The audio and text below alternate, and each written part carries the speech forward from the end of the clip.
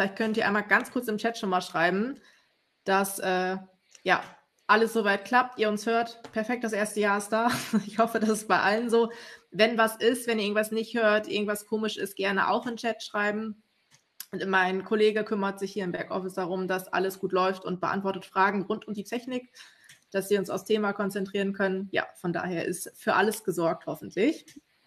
Dann freue ich mich auf jeden Fall, dass so viele schon da sind. Ich sehe schon am Rande, dass der Webinarraum sich auf jeden Fall füllt. Das ist sehr schön. Das werden nämlich auch nach und nach mal mehr Leute eintrudeln. Genau, wir beschäftigen uns ja heute mit dem spannenden Thema Pferde richtig fotografieren im Porträt und in Bewegung. Ähm, ich glaube, das ist für viele ein sehr, sehr spannendes Thema. Wir haben auch sehr viele Anmeldungen, was ich sehr gut nachvollziehen kann. Und ich freue mich heute auch eine Menge zu lernen. Ähm, ja, ganz kurz zu mir. Ich bin Michelle Heutmeier. Ich äh, bin verantwortlich fürs Marketing bei eHorses und eDogs. Ähm, ja, moderiert seit ein paar Monaten schon die Webinare. Vielleicht kennen mich ja schon ein paar Leute und ich freue mich heute wieder sehr viel, äh, sehr ähm, viel über das Thema Pferdefotografie zu lernen und würde jetzt das Wort ganz kurz abgeben an dich, Diana, dass du dich auch kurz vorstellst für alle, die dich nicht kennen. Vielen Dank, dass ich hier äh, zu Gast sein darf und ein bisschen über meinen Thema Pferdefotografieren reden darf. Wie angekündigt, äh, ich bin Diana Wahl. Ich bin jetzt im siebten Jahr selbstständig als Pferdefotografin. Habe mal ganz kitschig angefangen, so mit Pferdmädchen romantisch Sonnenuntergang. Das mache ich jetzt nicht mehr. Jetzt mache ich wirklich mehr für B2B, für Firmen, für Züchter. Kenne daher auch die Seite des ähm, Pferdeverkaufenden und weiß, wie ein Züchter sein Pferd natürlich präsentieren möchte, kenne aber auch als Reiterin und Pferdebegeisterte, die auf allen möglichen Veranstaltungen rumspringt, natürlich auch die Seite des Pferdebegeisterten, der ein Pferd kaufen möchte und sagt, hey, was für ein Pferd, was für ein Foto würde mich denn ansprechen und welche Anzeige würde mich abholen. Und ich stöbere sehr gerne bei E-Horses und daher, ich kenne, glaube ich, sämtliche Anzeigen, die mit Füchsen zu tun haben. Und ähm, ja, kann da beide Seiten ganz gut vertreten und möchte daher heute zeigen, wie man das dann schön macht, dass man das Pferd schön fotografiert bekommt und es dann hoffentlich einen tollen Käufer findet. Ja, das klingt auf jeden Fall super spannend. Ähm, wir haben auch sehr viel vorbereitet, deswegen ähm, ganz kurz zur Agenda, dass ihr schon mal Bescheid wisst. Wir fangen ähm, gleich mit einer ganz kurzen Umfrage an, dass wir auch mal so ein bisschen wissen, wer ihr überhaupt seid, was ihr für einen Background habt und habt und das so ein bisschen einschätzen können damit wir natürlich auch wissen, wo wir so ein bisschen den Schwerpunkt setzen. Dann hat Jana eine Präsentation vorbereitet. Dann würden wir tatsächlich äh, direkt konkret in die Praxis gehen und ähm, ja auch verschiedene Beispiele zeigen, gute Beispiele, aber auch Beispiele, wo man so ein bisschen was äh, verbessern kann, weil wir wollen ja heute alle was lernen. Und dann habt ihr am Ende noch die Möglichkeit, hoffentlich zeitlich Fragen zu stellen. Aber da auch schon mal, ihr könnt auch äh, zwischendurch immer wieder Fragen hier im Chat schreiben. Die werden wir auf jeden Fall immer versuchen mit zu beantworten, wenn das gerade gut passt. Und ähm, ja, genau, dann freue ich mich auf jeden Fall, dass wir hoffentlich ganz viel beantworten können. Da vielleicht auch jetzt an dieser Stelle einmal, wir haben gerade gesagt, wir würden gerne viele Beispiele aus der Praxis zeigen. Und in dem Mail stand es ja auch schon, dass ihr gerne selber eure Anzeigen, wenn ihr gerade welche aktiv habt bei eHorses, äh, rüberschicken könnt, dass wir uns die einmal genauer angucken ähm, und da mal genauer auf die Fotos achten und vielleicht und euch noch den einen oder anderen Tipp geben können, von daher, wenn ihr Anzeigen habt, die ihr mir noch nicht geschickt habt, auch gerne hier in den Chat schreiben oder eben schicken. Der Link reicht. Ähm, die ID, mein Kollege, der guckt sich das einmal an. Und ähm, ja, dann bekommen wir das auf jeden Fall hin, dass wir uns hoffentlich ein paar Praxisbeispiele anschauen. Ich hoffe, es werden nicht zu viele, weil dann wird die Zeit zu knapp. Genau. Aber genau, von daher einfach einen Chat schicken und dann gucken wir uns das hoffentlich an. Bevor wir jetzt richtig in die Tiefe einsteigen, würden wir einmal eine ganz kurze Umfrage machen, damit wir so ein bisschen ein Bild haben, wie viel Background-Wissen ihr vielleicht schon habt. Äh, da haben wir eine kleine Umfrage vorbereitet. Und zwar wollen wir einmal von euch wissen, ob äh, ihr die Bilder von euren Verkaufspferden selbst macht. Da könnt ihr einmal kurz abstimmen mit Ja oder Nein. Und wie ihr die Bilder, wenn ihr sie selbst macht, macht. Mit einem Handy, relativ einfach, sage ich mal, oder will ich mit einer professionellen Kamera. Das ist dann ja schon nochmal ähm, ja, ein Unterschied und äh, sieht man, das sieht man ja auch immer in den Inseraten. Von daher, ja, würden wir euch da einmal bitten, dass ihr da einmal abstimmt. Und da geben wir euch einmal noch ein paar Sekunden Zeit. Aber ich sehe schon, dass ihr sehr fleißig dabei seid. Von daher geht das schneller als gedacht. Ähm, ja, und die Ergebnisse sind auch sehr eindeutig. So, ich glaube, der Großteil hat abgestimmt. Wenn der eine oder andere das jetzt nicht gemacht hat, ist auch nicht schlimm. Ähm, genau, ich beende die Abstimmung einmal, dass wir uns das anschauen können. Genau, also der Großteil ähm, macht die Bilder auf jeden Fall selber, was, glaube ich, für dieses Webinar super ist, weil dann kann man auch direkt das Wissen, was man heute so ein bisschen mitbekommt, anwenden. Ähm, ja, es sind auch noch immer noch einige dabei, die ihre Bilder mit einem Handy aufnehmen, aber auch viele mit einer Kamera. Und ich glaube, Diana, das ist natürlich eine super Grundlage, dass man dann auch wirklich viel nachher anwenden kann von dem, was du jetzt gleich erzählst. Ne? Genau, genau. da freue ich mich, dass äh, da doch so viele mit dem Handy, äh, so viele mit der Kamera unterwegs sind und es nur einige mit dem Handy sind. Ich hatte eben im Chat gelesen, dass mein Ton irgendwie schlechter sein soll. Ähm, sollte sich das bestätigen, würde ich ganz schnell in mein Büro zwei Räume weiterflitzen und mir mein externes Mikro holen. Ich weiß aber nicht, ob das. das so ein ganz, also bei mir hast du so ein ganz leichtes Rauschen. Ich verstehe dich gut, aber wenn das jetzt zu stört. Das ist mein armes MacBook, was äh, ein bisschen in die Jahre gekommen ist und jedes Mal arbeiten muss. Also ich versuche, ja. wenn ich noch zwei Programme schließe, vielleicht wird es dann leiser. Ja, der Ton ist etwas schlechter, schreiben die anderen auch. Also wenn du ein externes Mikro hast, gerne. Dann flitze ich, ich bin in einer Minute wieder da. Ja, die Minute haben wir, alles, alles gut, kein Problem. Ja, okay, aber das bekommen wir hin. Diana holt jetzt gerade alles. Ich habe auch schon gesehen, so ein paar IDs sind hier schon in den Chat gekommen. Ich bin gleich gespannt, weil Diana hat jetzt so ein bisschen eine Präsentation vorbereitet, dass sie einmal ganz viel Basics erklärt, auf was man achten muss und all sowas. In der Zeit kann ich schon mal die verschiedenen ähm, ja, Inserate sichten und äh, es sind wirklich viele IDs und ein paar hatte ich auch schon vorweg geschickt bekommen. Und äh, dann versuche ich auf jeden Fall, dass äh, wir möglichst viel davon sehen und auch möglichst vielfältig. Also ja, ich bin auf jeden Fall gespannt, wenn ich gleich reingucke, was mir alles zugeschickt wurde. So, aber das sieht jetzt schon mal gut aus. So, ich würde sagen, Test Nummer zwei.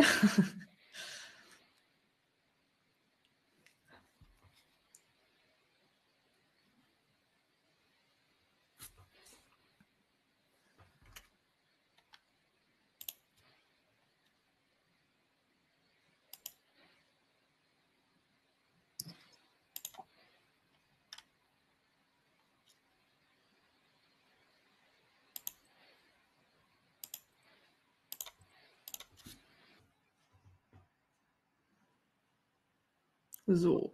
Gerüstet auf ein anderes Mikro. Ich weiß nicht, ob es jetzt besser ist. Ich hoffe es einfach. Ein bisschen Rauschen ist noch da, aber ich glaube, es ist besser. Ja. Okay, das ist wunderbar. Ich muss nur noch eine Möglichkeit finden, es vor mir zu positionieren. ich will es nicht die ganze Zeit in der Hand halten. Ja, wie eine Moderatorin. Einmal mit Profis arbeiten hier. Ja. Hm. Aber ich kenne das. Ich habe auch ein externes Mikro. Ich musste auch erst eine Position finden, wo es dann wirklich gut hin kann. Und ich glaube, wir haben sogar das Gleiche. Also auf dieses Verlass. Gute rote Podcaster, sehr zu empfehlen, wenn man ja, eine genau. findet, das abzustellen. So, ist hoffe, deutlich so besser. Okay, ja. wunderbar.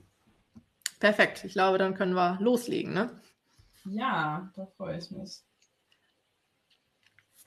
Soll ich mal anfangen? Oder? Ich wollte gerade sagen, also wir sind durch soweit. Ich glaube, die meisten warten jetzt gespannt, was du zu erzählen hast. Und ich auch. Okay, dann, dann legen wir mal los. Wie gesagt, das Thema ist Pferde fotografieren, sowohl in Bewegung, im Porträt und natürlich mit dem Schwerpunkt, das perfekte Verkaufsbild zu machen. Ich glaube, ich habe viel zu viel zu erzählen, weil ich immer denke, es ist alles wichtig und ich würde am liebsten alles erzählen. Von daher ähm, ich habe ein bisschen Angst, den zeitlichen Rahmen zu sprengen. Ich versuche mich kurz zu halten, um möglichst viel zu erzählen. Sollten Fragen kommen, gerne reinschreiben und ich versuche sie einzubauen. Und wenn das aber zu komplex ist, dann hänge ich die gern später hinten dran. Also es geht da nichts verloren. Und wir starten mal mit dem Equipment. Das ist so die Frage Nummer eins, die mir gestellt wird, wenn es natürlich daran geht, oh, mh, was für ähm, eine Kamera nutzt man denn und wo fängt man denn an?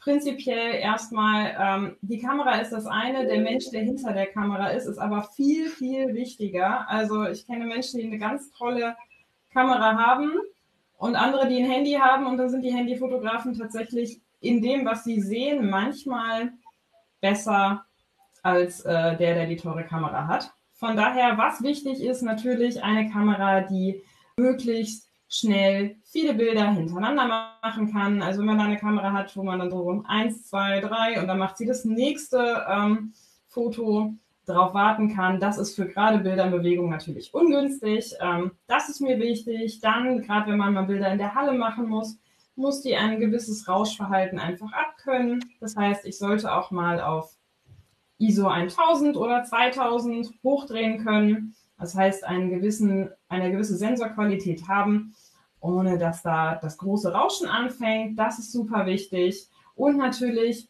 was vielleicht vergessen wird, ich brauche verschiedene Möglichkeiten, meinen Fokus zu setzen. Wenn man eine ganz kleine Kamera hat, so eine D3000 Einsteigerkamera oder ähnliches, dann kann es sein, dass man nur so fünf Fältchen hat und sich dann auswählen kann, rechts, links, oben, unten, wo soll der Fokus sein. Und da ist natürlich schwierig, genau zu fokussieren. Und da ist dann oft der Fehler, wo Fotos unscharf werden, weil die Kamera einem kaum Auswahlmöglichkeiten gibt. Von daher da auf jeden Fall auch drauf achten, finde ich bedeutend wichtiger als die größte Megapixelzahl, die da dran stehen kann. Ich habe euch mal hier reingeschrieben, mit was für Kameras ich schon gearbeitet habe oder immer noch arbeite. Und die kann ich sehr empfehlen. Man kann natürlich auch von Nikon oder Fuji oder was auch immer eine Kamera kaufen. Nur damit habe ich leider keine Erfahrungen. Was super wichtig ist, ist ein Objektiv. Finde ich fast noch wichtiger als ähm, ja, die Kamera. Denn die Kamera ist das eine, aber wenn da das unpassende, die unpassende Linse vor ist, dann wird es natürlich schwierig. Da ist das eine, das werden wir uns gleich noch anschauen, ich brauche natürlich die passende Brennweite. Also ein Pferd ist ein relativ großes, massiges Wesen und um das korrekt darzustellen, brauche ich etwas, was ein bisschen teleartig ist, ein Teleobjektiv, was ein bisschen staucht, was das Ganze nicht noch weitwinkliger macht, weil ansonsten wird uns aus unserem schönen Warmblüter vielleicht ein Elch. Das wollen wir alle nicht. Da ist so, ja, alles ab 100 mm schon ganz gut, besser 135. Mein Evergreen ist das 70-200 relativ lichtstark mit einer durchgehenden Blende 2,8. Das heißt, ich kann damit super gut auch in der Halle fotografieren und bekomme sehr viel Licht rein. Und dieses Objektiv besitze ich über zehn Jahre, möchte es nicht mehr abgeben, kann das nur empfehlen. Ebenso wichtig ist natürlich, dass ich Speicherkarten habe, die schnell sind. Ansonsten habe ich vielleicht eine tolle Kamera, ein tolles Objektiv und dann super langsame Speicherkarten. Und das ist, als hätte ich einen Ferrari und würde Stützräder dran bauen. Und dann würde meine Kamera schön viele Fotos hintereinander machen, aber die Speicherkarte sagt, oh, tut uns leid, wir müssen jetzt speichern und dann stehen wir da. Und was super wichtig ist, weil ich weiß, dass hier viele sind, die sagen, oh, meine Fotos werden nicht richtig scharf, hm, ich habe da ein Problem. Wenn die Kamera und das Objektiv nicht aufeinander justiert sind, und damit meine ich nicht, dass es beides Canon ist, sondern dass man die ab und zu mal einschickt, also ich mache das echt selten, shame on me. Aber wenn ich ein neues Objektiv kaufe, dann achte ich darauf, dass ich die einmal wegschicke zum Hersteller bzw. zum Service und da sage, hey, ähm, checkt mal bitte, ob das alles zusammenpasst, ob da die Anschlüsse richtig sitzen, weil dann ähm, kann ich mit Fokusproblemen da schon einiges vermeiden. Ansonsten kann es sein, dass das Objektiv immer wieder den Hintergrund scharf macht und ihr wollt natürlich eigentlich das Pferd scharf haben. Das sind so Kleinigkeiten, die man so easy vermeiden kann. Genau. An die Handyfotografen, was ich absolut gar nicht schlimm finde, weil gerade die neueren iPhones oder auch Huawei's und Google Phones echt krasse Bilder machen. Es gibt einen Trick, der klappt bedingt, aber er klappt ganz gut. Es ist zumindest besser, als einfach so erstmal drauf zu halten. Und der Trick ist, nutzt den optischen Zoom. Also die meisten Handys haben ja hinten so drei Kameras dran, manche haben auch noch mehr. Und wenn ich da das, ähm, den Zoom nutze, sprich, da steht dann ja zweimal oder dreimal die Vergrößerung. Und wenn ich das schon anklicke und dann lieber selber fünf Meter weiter nach hinten gehe, also mich vom Pferd entferne und aber optisch mit meinem Handy ranzoome, bekomme ich eine andere Brennweite. Und mein Pferd sieht nicht mehr so elchig verzerrt aus, sondern sieht viel natürlicher aus. Nur darüber, dass ich quasi ein bisschen zurückgegangen bin und gezoomt habe. Und das hilft schon immens weiter. Also das ist ähm, für alle, die mit dem Handy öfter mal Fotos machen müssen, kann schon mal wirklich eine kleine Welt verändern. Und ansonsten rate ich nur, entweder steigt langfristig doch äh, um auf eine Kamera oder sucht euch einen Fotografen, eine Fotografin des Vertrauens, wo ihr sagt, hey, wenn ich die Kamera nicht habe, die hat das Equipment und die soll meine Bilder machen. Weil am Ende des Tages der Unterschied zwischen, ich habe das Foto gerade bei Pferden in Bewegung mit dem Handy gemacht und ich habe da wirklich mit einer professionellen Kamera, die mein Pferd korrekt darstellt, gearbeitet das, äh, da ist schon ein immenser äh, Unterschied zwischen. Ja, auf jeden Fall. Das kann ich sehr gut nachvollziehen. Gerade bei den Bildern in Bewegung. Ne? Spätestens da ist das Handy raus. Meist, meist noch nicht mal, weil es unscharf wird, sondern einfach, weil da dann so eine Verzerrung da ist, dass die Pferde so merkwürdig aussehen. Also die Smartphones sind leider irgendwie nicht für die Handyfotografie geboren. Komisch aber auch. Genau. Kommen wir mal dazu, warum nutze ich denn so eine riesen Scherbe an Objektiv? Muss das denn sein? Aus dem einfachen Grund, das ist mein Pferd. Wir haben gleiche Kamera, ich habe mich nicht bewegt, ich habe nur das Objektiv lediglich geändert.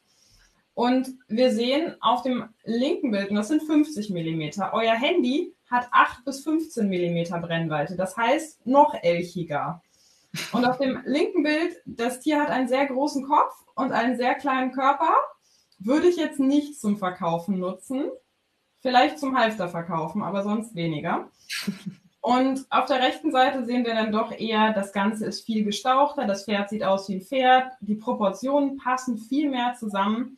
Und das ist das, was das Handy auch macht, wenn wir da zurückgehen, ein bisschen ranzoomen. Es wird zwar nicht ganz so aussehen wie hier, aber der Effekt wird schon besser aussehen und weniger elchig. Man guckt auch lieber hin, das muss man auch mal sagen. Ja. Genau, dann die nächste Frage ist dann meist, okay, ich habe eine Kamera und was mache ich denn jetzt damit? Automatikmodus äh, kennt wahrscheinlich jeder, aber das ist ja nicht das, was einen glücklich macht, weil dann entscheidet die Kamera, was sie gerade für richtig hält. Und das ist im seltensten Fall das, was man in der Situation gerade brauchen könnte. Und dann steht man da und die Kamera sagt, ja, also ich finde, wir machen das so, rechnet aber nicht damit, dass ein Pferd sich doch ein bisschen schneller bewegt und dann ist wieder alles unscharf. Von daher wechseln wir mal in den manuellen Modus. Es gibt auch noch so Halbautomatiken, Sportmodi etc. Das ist schon besser als der Automatikmodus, aber wir wollen das ja richtig machen.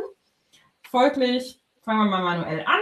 Wir haben unser Pferd in Bewegung, Schritt, Trab, Galopp, im Schritt, aber Trab, Galopp, Bewegung auf jeden Fall, da brauchen wir das. Ähm, stellen wir uns eine Tausendstel Sekunde ein. Das ist so das Minimum, was wir brauchen, damit unser Pferd scharf wird. Im ganz Dunklen geht auch mal eine 800 Sekunde, aber mit der Tausendstel, wir sind auf der sicheren Seite. Damit können wir die Bewegung des Pferdes einfrieren und es wird scharf. Das haben wir eingestellt. Als nächstes nehmen wir die Blende dazu. Das ist diese Zahl, die immer anfängt mit 2,8, 3,5, 4,0, wie auch immer. Und da stellen wir das ein, was euer Objektiv hergibt, was da das Lichtstärkste ist. Lichtstark ist in dem Fall die kleinste Zahl.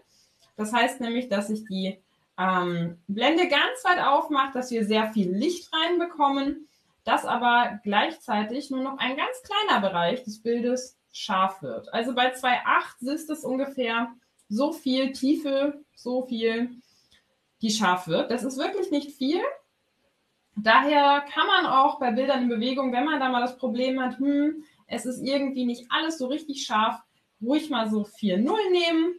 Da haben wir nämlich, kommt zwar ein bisschen weniger Licht rein, aber es wird doch ein bisschen mehr scharf. Da sind wir vielleicht bei so einem Bereich, der dann so scharf wird von dem Pferd in der Tiefe. Und das erhöht natürlich unsere Trefferquote. Das heißt, das stellen wir da ein und sagen, okay, das ist der Bereich, der scharf werden soll. Wir wollen möglichst viel Licht rein haben. Und dann haben wir als dritte Komponente, und das ist unser Joker, ähm, haben wir noch die ISO, das heißt die Empfindlichkeit des Sensors. Und die versuchen wir so niedrig wie möglich zu halten, weil wir könnten die ja hochdrehen und dann wird unser Bild heller. Gerade bei, in, bei Fotografie in der Halle kann das schon mal entscheidend sein. Aber wir haben darüber einen riesen Qualitätsverlust und ganz schnell sieht man dieses Krisselige und es rauscht und es wird pixelig und auch nicht mehr schön und irgendwann sieht man nur noch überall so Pixelpunkte, die dann so bunte Ränder kriegen. Grausig. Daher so niedrig wie möglich halten und als allerletztes einstellen. Also wenn ihr die ersten zwei Faktoren eingestellt habt und euch dann so denkt, shit, das ist noch zu dunkel, dann können wir da höher gehen. Wenn das aber bis dahin schon passt, dann bleiben wir mit der ISO bei 100. 100 ist da der Startwert und bei den meisten Kameras kann man entspannt bis 1000 hochdrehen. Bei den besseren Kameras kann man auch bis 2000 hochdrehen. Und dann wird es irgendwann mal nicht mehr ganz so schön. Dann haben wir noch diesen Kameramodus. Da gibt es so verschiedene Sachen, die man einstellen kann. Und da ist es wichtig, dass wir den Mitzieher-Modus einstellen. Das heißt, ein Pferd läuft dran her und die Kamera sagt, okay, ich habe den Fokus auf dem Pferd, das Pferd bewegt sich und ich ziehe mit. Ich fokussiere nicht jedes Mal neu, beziehungsweise die fokussieren ganz, ganz, ganz, ganz schnell neu, aber es sagt nicht, aha, okay, hm, hm, wo ist das Pferd denn hin? Weiß ich nicht. Hm, ich muss mal komplett neu fokussieren, sondern die Kamera sagt dann, okay, wir bleiben da dran, es bewegt sich und ich ziehe mit und bleibe scharf. So kann ich die ganze Zeit in Bewegung Fotos machen. Ansonsten wäre das nicht ganz so einfach. Das heißt, bei Canon AI Servo und bei Nikon heißt es Continuous, also verfolgend mitziehender Modus. Und genau, das stellen wir ein. Wenn wir dann Bilder in Bewegung machen, ist eine Reihen Reihenaufnahme schon sinnvoll. Da aber bitte nicht das Kanonengewehr Dauerfeuer. Das hört man gerade, wenn man in der Turnierfotoszene ist, gibt es so zwei Lager.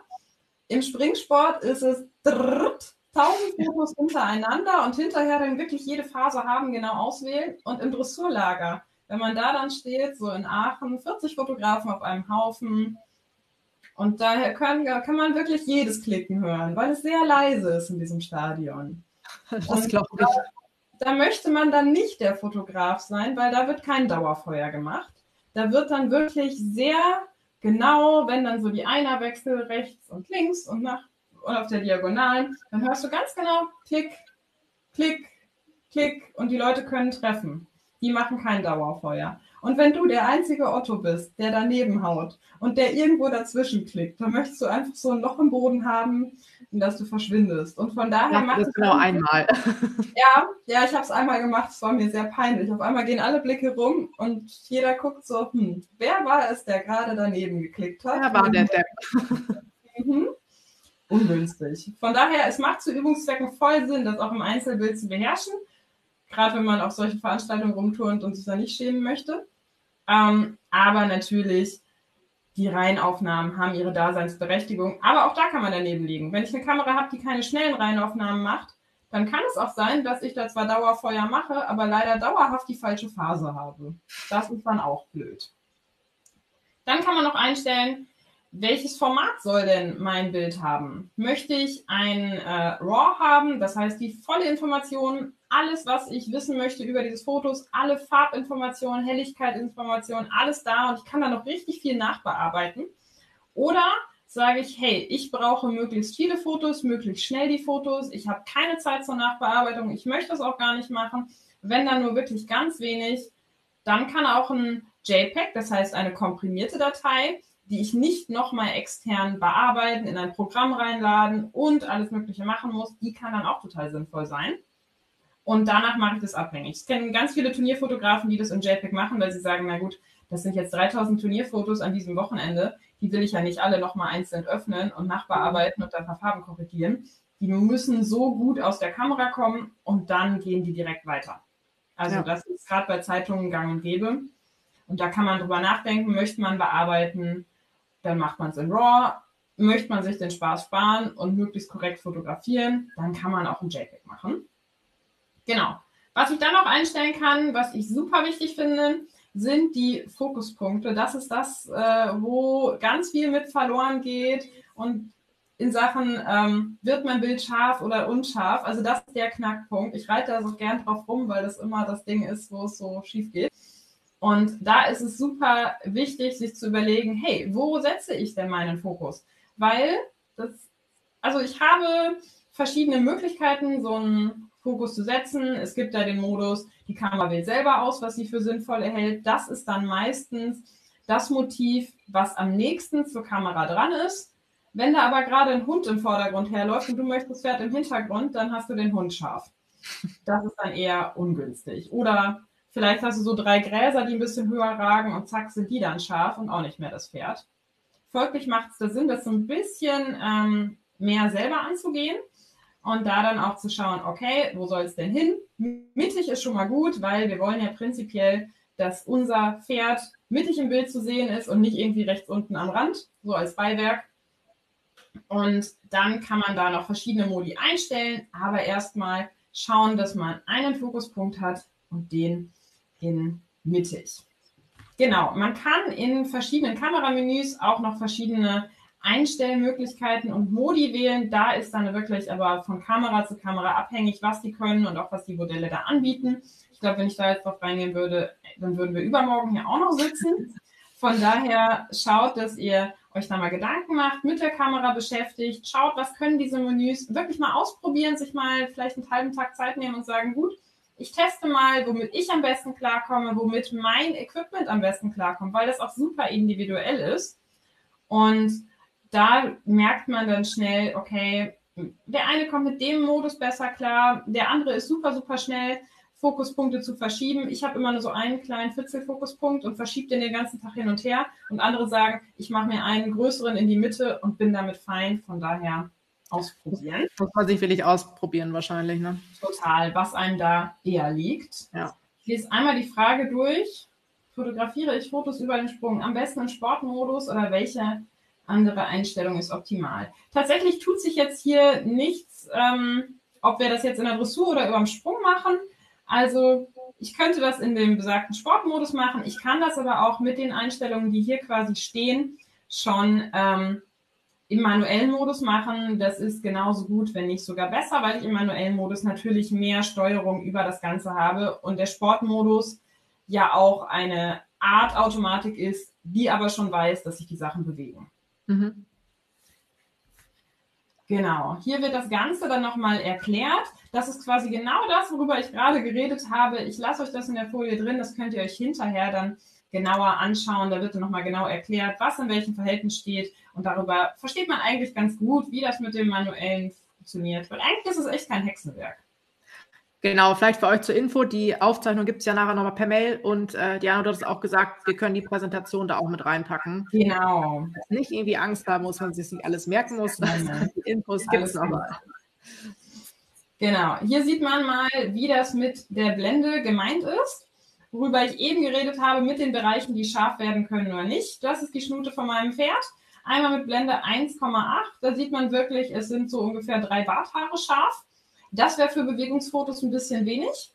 Also da möchte man ja doch ein bisschen mehr des Pferdes sehen und nicht nur vielleicht drei Haare von der Mähne. Und dann sehen wir einmal Blende 13. Da ist dann wirklich die gesamte Nase, das Halfter, der Führstrick und schon ein Teil der Brust scharf. Ja, ist für den Effekt, was scharf werden soll, toll, aber damit haben wir extrem viel wenig Licht in dem Bild. Bei dem Bild ging es noch, wir standen vor einer weißen Wand und es hat die Sonne geschienen. Stellen wir uns das in einer dunklen Reithalle vor mit Blende 13. Ich garantiere euch, ihr könnt den Fußboden nicht von dem Pferd unterscheiden. Von daher ähm, lassen wir das lieber mit Blende 13 und versuchen da was zu nehmen, was ein bisschen weniger Schärfe, aber dafür doch ein bisschen mehr Licht hat. Genau. Hier kommen wir noch einmal zur Belichtungszeit. Ähm, das sind mal krasse Extreme. Das eine ist die angesprochene Tausendstel Sekunde. Wenn ihr die einstellt, ihr seid auf der sicheren Seite. Da wird es auf jeden Fall scharf. Und dann mal das krasse Gegenteil. Eine Zehntelsekunde, da muss man dann wirklich die eigene Hand schon ganz schön ruhig halten oder doch ein Stativ benutzen, da, damit man da nicht selber schon einen Wackler reinbringt. Und ähm, ja, das findet so, außer als Stilelement, wenn man sagt, man möchte diesen Wischeffekt haben. Das bietet ähm, da keine Anwendung. Also ich nutze die Tausendste Sekunde, habe das scharf, das scharf werden soll und dann passt das.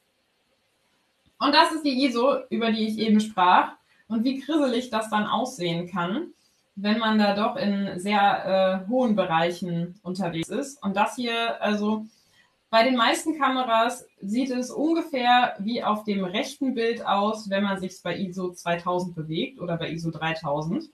Wenn man da mal näher ranzoomt, dann wird das sehr schnell schon sehr flackerig, sehr grisselig. Je nachdem, äh, was für eine Kamera das ist. Bei den hochwertigen dauert es ein bisschen länger, bis man die so verärgert, aber bei den günstigeren Modellen geht das ganz, ganz schnell und dann spucken die einem nur noch so grisselige Dinge aus. Das ist dann auch nicht mehr schön. Von daher immer versuchen, so wenig wie ja, nötig davon zu verwenden.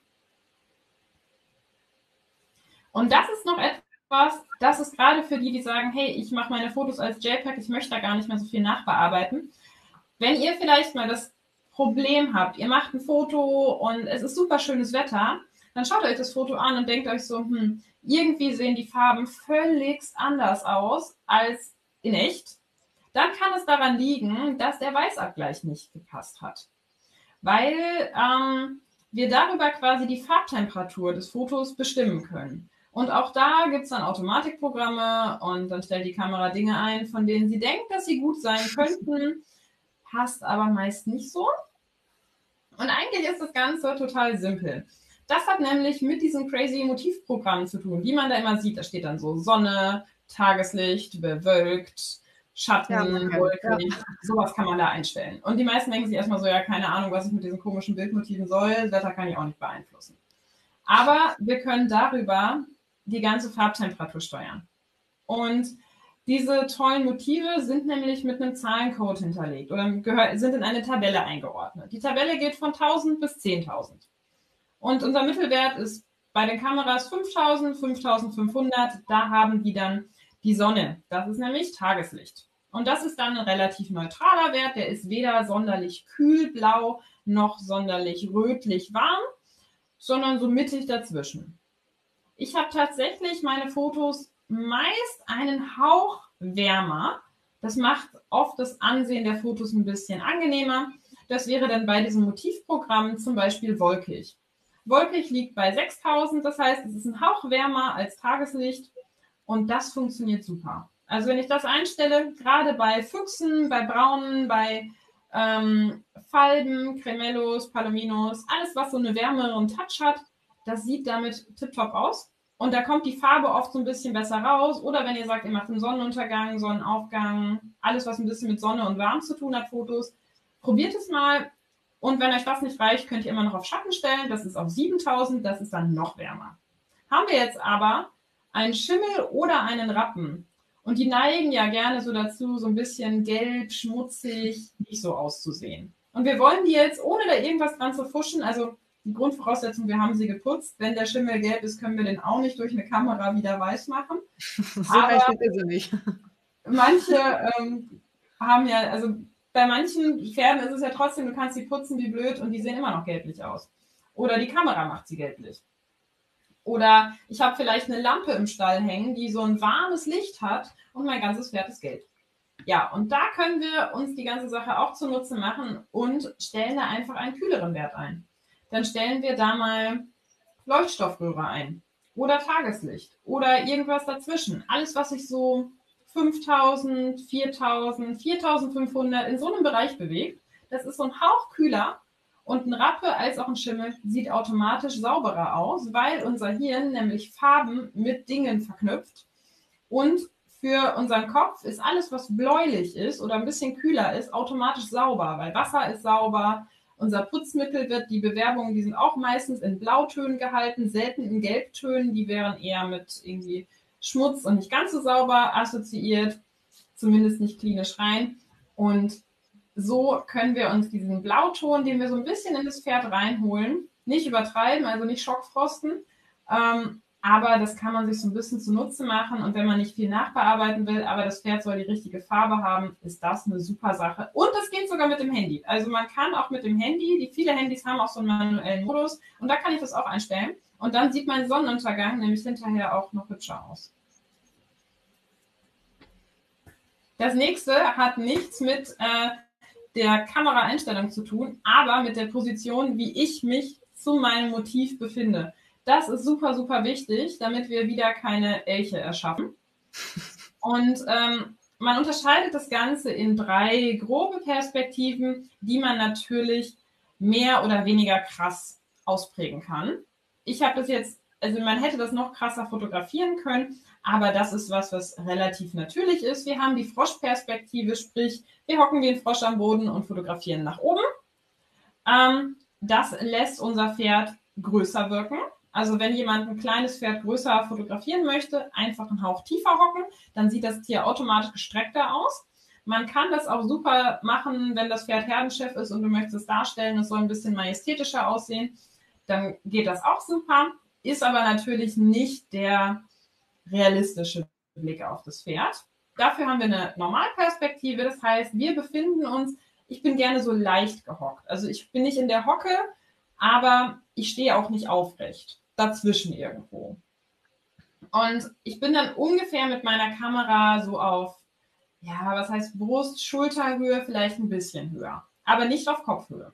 Und das ist eigentlich die perfekte Position, um ein Pferd recht ähm, ja, neutral darzustellen und nicht in irgendeine Richtung zu verzerren. Dann haben wir noch die Vogelperspektive. Vogelperspektive wäre generell komplett von oben runter. Das ginge jetzt nur, wenn ich mit der Drohne drüber schwebe, habe ich auch schon gemacht, aber das kann niemand als Verkaufsbild brauchen. Ähm, aber für den Zweck habe ich mich mal auf eine Leiter gestellt, mein Pferd von oben fotografiert. Das macht für ähm, so etwas nicht richtig Sinn. Aber das passiert zum Beispiel, wenn ich selber einfach ein bisschen größer bin und dann zum Beispiel ein kleineres Pony fotografieren muss. Dann bin ich ganz schnell so viel drüber, dass ich das Tier so von oben runter fotografiere und dann sehen die ganz komisch verzerrt, platt aus. Das ist vielleicht niedlich, wenn ich einen Hundewelpen habe oder wenn ich einen Fohlen habe und es soll besonders niedlich sein und guckt das auch noch so hoch. Ja, dann ist es super süß. Aber wir wollen ja im seltensten Pferd unsere Pferde als niedliche Hundewelpen verpacken.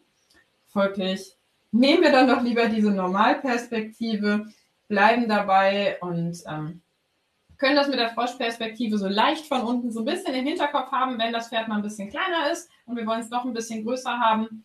Aber ansonsten bleiben wir bei der normalen Variante. Versuchen wir es recht neutral. Recht, ja, in der Hoffnung, dass es normal und neutral aussieht. Kommen wir zu einem Faktor, der auch super, super wichtig ist, egal welche Kamera wir haben, und zwar der Hintergrund. Ich glaube, wenn man so ein bisschen bei E-Horses stöbert, dann sieht man da Dinge, die wollte man gar nicht sehen. Und Hintergründe. Die gehören noch nicht dazu. Da erfährt man Sachen, das wollte man gar nicht wissen. Und manchmal. Erkennt, man erkennt das Pferd auch manchmal gar nicht und fragt sich so: Ist das ein Suchbild? Hm, wo ist es denn? Hm. Und damit das. Ja, ja.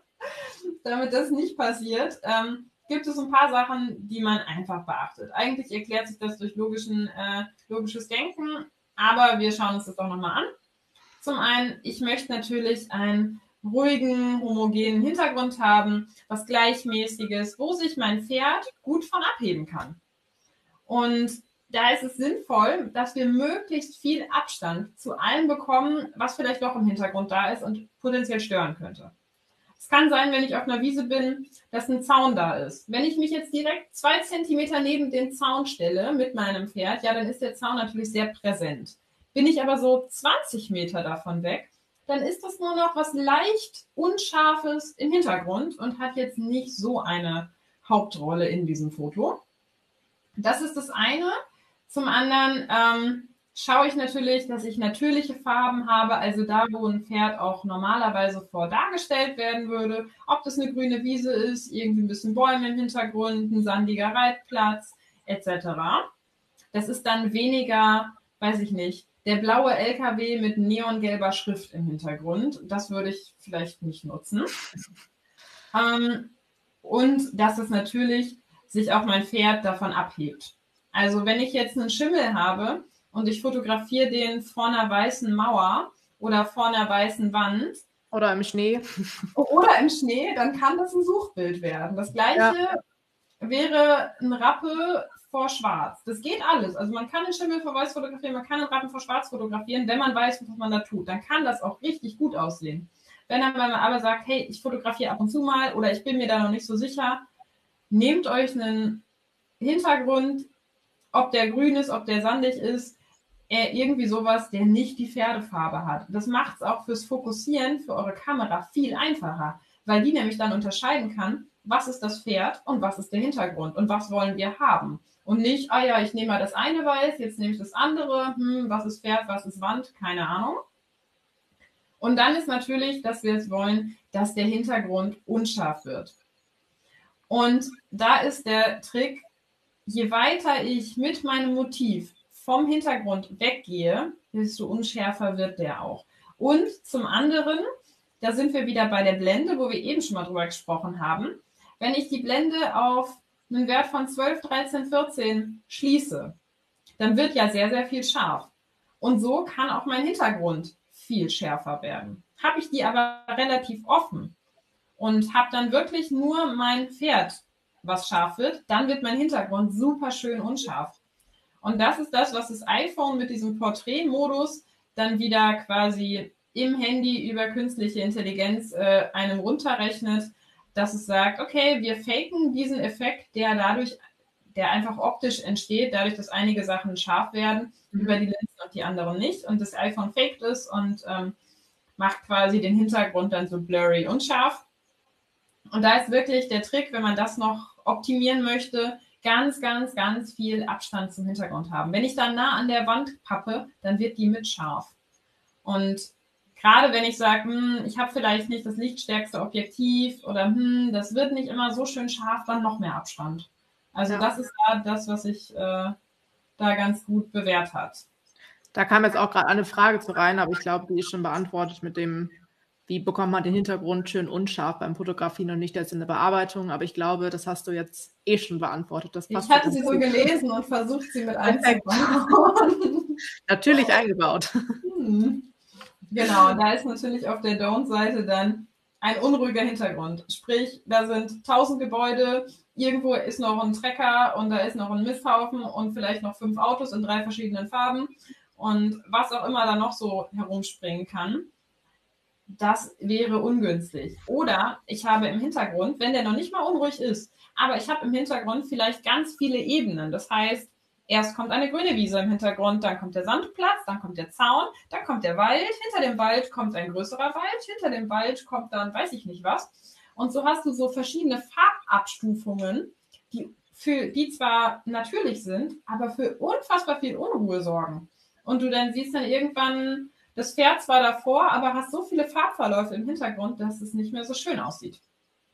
Und da ist dann natürlich auch das Ding, je näher ich an im Zaun an der Bande des Reitplatzes pappe, desto mehr Präsenz hat das Ding. Mhm. Folglich weg damit. Viele Farben im Hintergrund, so schön buntes Herbstlaub ist. Ich finde es super schön, aber gerade dazu braucht man einen Riesenabstand, weil ansonsten gelb, orange, rote äh, Blätter so viel Aufmerksamkeit haben, dass das dann auch einfach nur noch bunt aussieht. Von daher, wenn ihr jetzt im Herbst die Fotos macht, nehmt auch da gut Abstand, dann wird es auch schöner. Und auch da vermeiden, wie gesagt, äh, Hintergrund die gleiche Farbe wie das Pferd. Besser einfach ein Pferd auf einer grünen Wiese. Es gibt keine grünen Pferde, da kann man nichts dran falsch machen. Da ist man sicher. Bei roten Pferden vor irgendwie einem schönen Herbstlauf wäre man ja auch schon wieder gefährdet. Und der Camello ja. auf dem Sandplatz könnte auch schon wieder eng werden.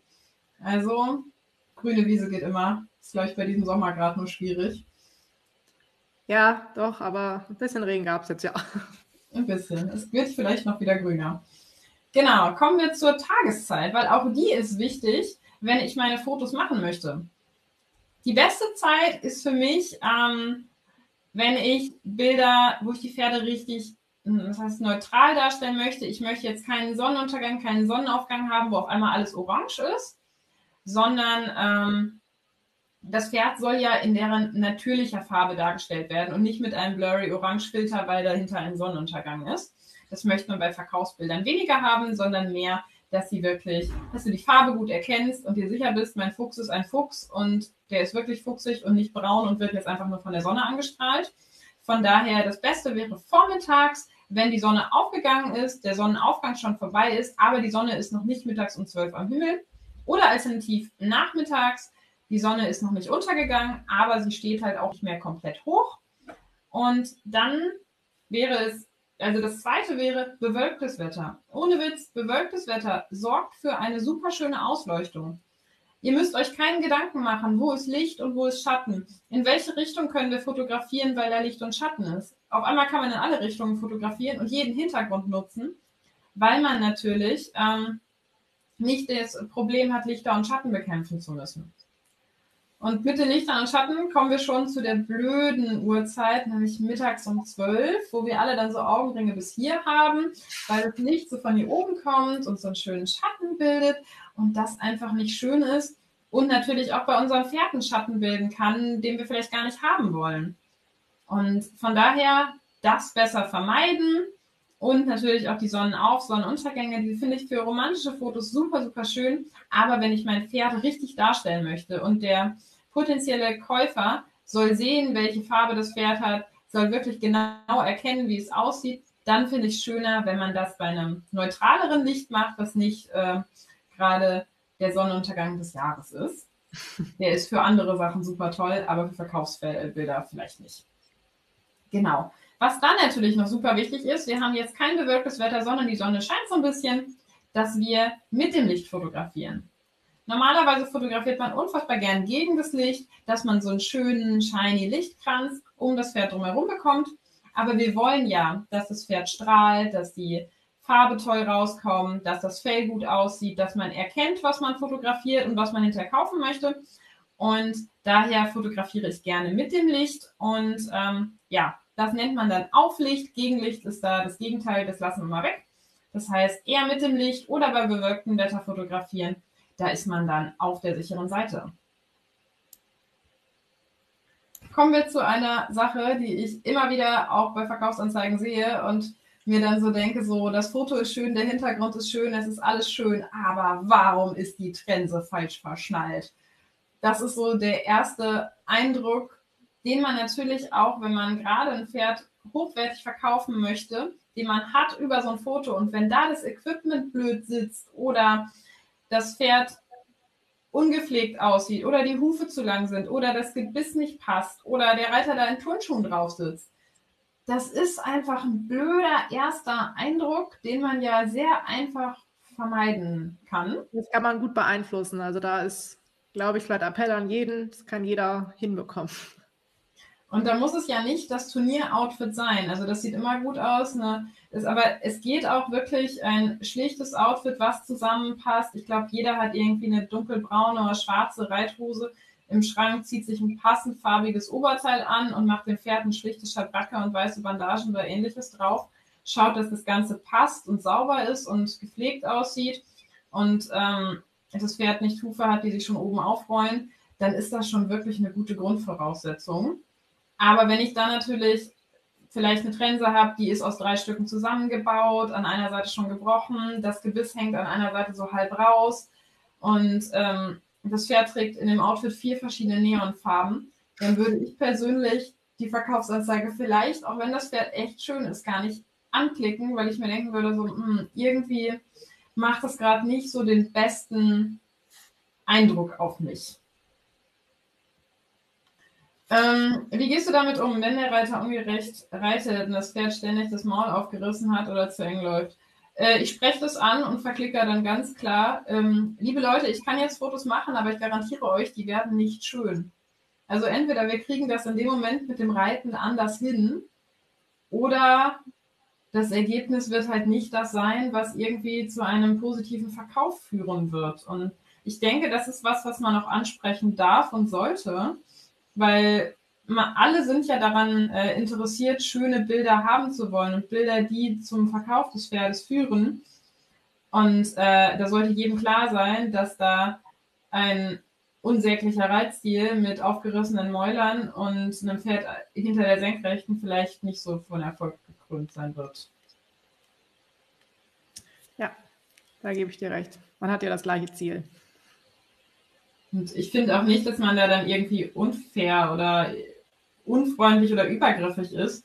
Ich habe es auch ganz oft, dass wenn ich gerade mit Sportreitern da zusammenarbeite, dass die mich dann auch fragen und sagen, hey, aber wenn da irgendwie was absteht, irgendwas nicht passt, du sagst Bescheid, ne? Weil manchmal, gerade wenn man vielleicht draußen auf dem Platz reitet und du hast keinen Spiegel zur Kontrolle oder und du hast vielleicht ein Pferd, was ein bisschen empfindlich nörgelig ist, meine Stute ist das erste Beispiel dafür, dann merkst du das vielleicht nicht direkt in dem Moment. Und vielleicht möchte man das ja auch gar nicht machen. Und hinterher auf den Fotos ärgert man sich total, wenn man dann bei jedem zweiten Foto die Schnute komplett offen hat. Ja. Oder ähm, das Pferd sich, ohne dass man es will, doch enger rollt, als man das so von oben beurteilen kann. Und von daher, ich glaube, wenn man da offen kommuniziert, macht man da nichts mit falsch. So, kommen wir mal weg von den Outfits und hin zu den Posings. Wir fangen mal an mit den Porträts. Dann steigern wir uns gleich noch über die klassischen Verkaufsbilder von der Seite und dann, dann bei den Reitbildern. Mhm. Und da ist es ähm, wie bei Passbildern. Regel Nummer eins, alles sieht besser aus, wenn es leicht schräg steht. Weil ansonsten diese klassischen Passbildfotos, da sieht niemand gut aus. Also ich habe, hatte noch. Wir wünschen uns alle, dass wir schräg stehen dürfen. ich hatte noch nie ein Passbild, auf dem ich mich wohlgefühlt habe. Nein, ich auch Und nicht. so ist es bei einem Pferd auch. Wenn wir ein Pferd, wie bei diesen beiden Hochformaten, gerade von vorne fotografieren, dann haben wir einen Kopf, der ist sehr lang, dann ist der Hals komplett weg, weil der Kopf ja davor ist. Und irgendwann kommt dann Bauch. Das sieht für Nilpferde gut aus, aber wenn wir das nicht besitzen, dann lassen wir das besser. Und daher den Hals so einen Hauch eindrehen, dass man überhaupt wieder Hals sieht und dann auch beurteilen kann, was hat mein Pferd, was ich kaufen möchte, denn für einen Hals? Hat es überhaupt einen oder setzt der Kopf direkt auf den Rumpf an? Das ist schon mal das eine. Und das ist wirklich leichtes Eindrehen, leicht schräg gucken lassen. Das lässt alles gestreckter besser aussehen. Und so ist es auch, wenn ich das Pferd wie bei den beiden Querformaten hinstelle. Da kann ich die so ein bisschen diagonal stellen. Das sieht immer ein bisschen besser aus, als wenn die ganz schnack gerade stehen. Und da, ich kann die zum Beispiel rumschauen lassen, wie bei diesem ähm, Querformat oben links. Der Spanier, der so ein bisschen rumschaut, der mhm. hatte auch einen schönen Hals, den konnte ich darüber super präsentieren. Und der äh, bunte Fuchs mit der dicken Blässe da drunter, der Warmblüter, da habe ich leider, das ist echt, das Bild ist schon sehr alt, das ist bestimmt schon neun Jahre alt, ähm, ganz zu meiner Anfangszeit. Und ähm, ja, ich habe dem Tier leider äh, eine sehr ungünstige Figur gezaubert, dadurch, dass ich dem Pferd kein Bein mehr gegeben habe. Das ist super wichtig und da kann ich ganz viel, wie das Pferd wahrgenommen wird, mit beeinflussen, indem ich einfach überlege, wo schneide ich denn, wenn ich ein Porträt mache.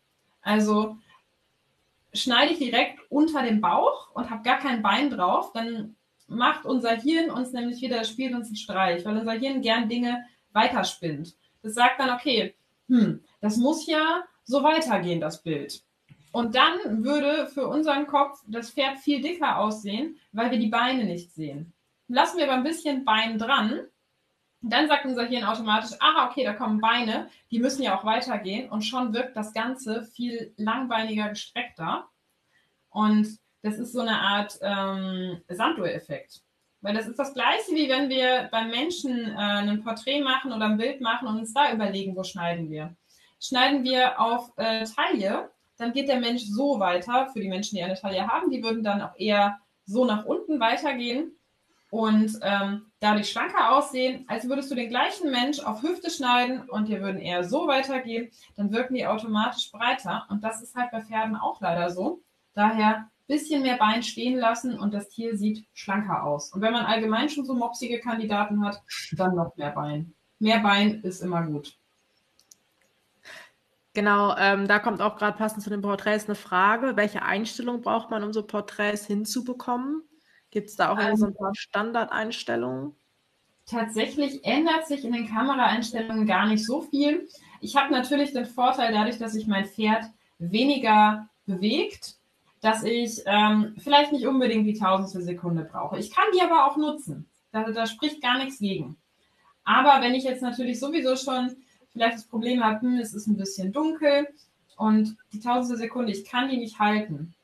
400 Sekunde, 500 Sekunde ist super und ähm, Dafür kriegt man auch wirklich jede Bewegung, auch wenn die mal mit einem Ohr wackeln und den Kopf rumdrehen, das wird dann immer noch scharf. Ich kann bei meiner Blende immer dabei bleiben, da ändert sich auch nichts dran. Die ISO-Einstellung, wie gesagt, das ist ja unser notwendiges Übel, die passen wir so an, damit sie gerade ausreichen, aber ziehen die nicht bis in den Himmel. Und ansonsten würde ich da eigentlich gar nichts dran verändern. Okay, dann ist die Frage auch schon beantwortet. Dann können wir weiter sprinten, weil ich sehe schon, es ist gleich schon acht. Also ich glaube, wir müssen ein bisschen oh. galoppieren. Okay, galoppieren wir weiter. Ähm, hier ist das Ganze nochmal. Wir sehen auf der linken Seite die beiden, die stehen beide ein bisschen schräg, haben den Hals rüber, haben darüber einen schönen geformten Hals. Und bei dem Pferd auf der rechten, das hat zwar einen schönen Hals und einen super schönen Kopf, aber da ist zu viel Bauch drauf, folglich wird, wirkt der Hals automatisch kürzer. Und solche Sachen, da kann man so viel dran machen, wie man das Pferd darstellt, ob der Hals kürzer wirken soll oder nicht. Er hätte länger gewirkt, wenn ich das Pferd ein bisschen schräger gedreht hätte. Daher immer alles schräg, dann ist schöner. Und jetzt kommen wir zu den klassischen Seitenbildern. Mhm. Die sind relativ leicht zu erklären. Was man sehen möchte, ist natürlich, dass ich alle vier Beine auf einen Blick sehe, dass die aber nicht so ellenlang gezogen sind, sondern das Pferd immer noch relativ kompakt steht und nicht so ein Bein hinten raushängt. Genau, da möchte man natürlich einen aufmerksamen Blick. Das soll den Hals schön tragen und nicht in den Himmel recken, wie auf der linken Seite. Das soll den Schweif locker halten. Und das rechte ist recht gelungen. Bei dem linken, da war das Tier noch ein bisschen. Es ist übrigens das gleiche Pferd und es sieht, ich finde, komplett anders aus. Ja, das habe ich auch eben gedacht. Also zwischen den Bildern liegen original drei Minuten und ähm, eine Via-App, die dem Pferd doch zu gruselig war. Und das gleiche sehen wir hier auch nochmal. Der Schimmel, der hat das echt gut gemacht. Der hat sich dahingestellt und gesagt, hallo, hier bin ich. Und ähm, er auf der linken Seite ist übrigens das gleiche Pferd, was wir vorher gesehen haben. Er hat sich schräg gestellt. Da ist wirklich der Moment, wo wir die Pferde komplett gerade stellen, damit es korrekt aussieht. Und hat dann den Kopf hochgerissen und gesagt, oh mein Gott. Und so stand er dann leider auch da. Und auf einmal hatten wir gar nicht mehr so einen schönen, man sieht gar keine Ganasche mehr. Es ist ein Kopf, der irgendwie auf dem Hals dran gepackt ist, wie so eine Giraffe. Nicht so schön. Das gleiche hier nochmal, auch da sieht man, was der Hals und die Kopfform alles ja, beeinflussen kann. Da ist es schön darauf zu achten, dass sie einen schönen Hals machen, dass es aber natürlich aussieht und nicht wie bei dem Schimmel in der Mitte, der noch so ein bisschen mit dem Genick rumschaut und sich sagt, ich gucke mal, aber so richtig will ich doch nicht und dadurch so einen komischen Knick in den Hals bekommt. Oder eben ganz gerade, wo man dann auch sieht, es sieht aus wie so eine Giraffe, der Hals wirkt irre lang von daher auch da ein bisschen schräger stellen, schön rüberschauen lassen. Wenn man die Richtung Stall schauen lässt, dann hat man da auch schon mal die halbe Miete. Es macht keinen Sinn, gegen ein Pferd anzufotografieren, was partout nicht in die Richtung schauen möchte. Also eher die Richtung wählen, wo das Tier auch von sich aus hingucken würde. Dann wurde ich gefragt, ich hatte bei Instagram gefragt, was äh, so für Fragen, ähm, was, worauf ich eingehen sollte. Und da kam dann die Frage, wie mache ich das, wenn das Pferd vielleicht ein bisschen blöd gebaut ist. Ähm, ich habe immer so ein paar Sachen zusammengetragen, aber wie gesagt, was ich ganz, ganz schrecklich finde, wenn in Photoshop nachgeholfen wird. Da macht man ja, tut man sich, den Käufer und auch die, man sich selber als Verkäufer keinen Gefallen mit, weil man will das Pferd ja verkaufen und der Käufer möchte ja einen realistischen Blick davon haben. Und wenn ich das Pferd mir jetzt zurechtbaue, bis es aussieht wie ein Barbie-Pferd, und dann kommt jemand, hat sich in das Pferd verliebt, sagt, möchte ich haben und erkennt es im Stall nicht wieder. Ungünstig. Da hat man auch nichts gewonnen. Nee, nee, außer dass alle dann enttäuscht sind und irgendwer 400 Kilometer umsonst gefahren ist, ist nichts passiert. Von daher, Kleinigkeiten gar kein Problem. Also wenn ich ein Pferd habe, das überbaut ist, dann kann ich das auch da einen Hauch schräger stellen. Aber das ist dann wirklich so 10 Grad schräger und nicht 90 Grad Winkel. Oder wenn ich ein Pferd habe, was den Halsansatz sehr tief hat, dann kann ich schauen, ob der sich so ein bisschen mehr aufwölben möchte.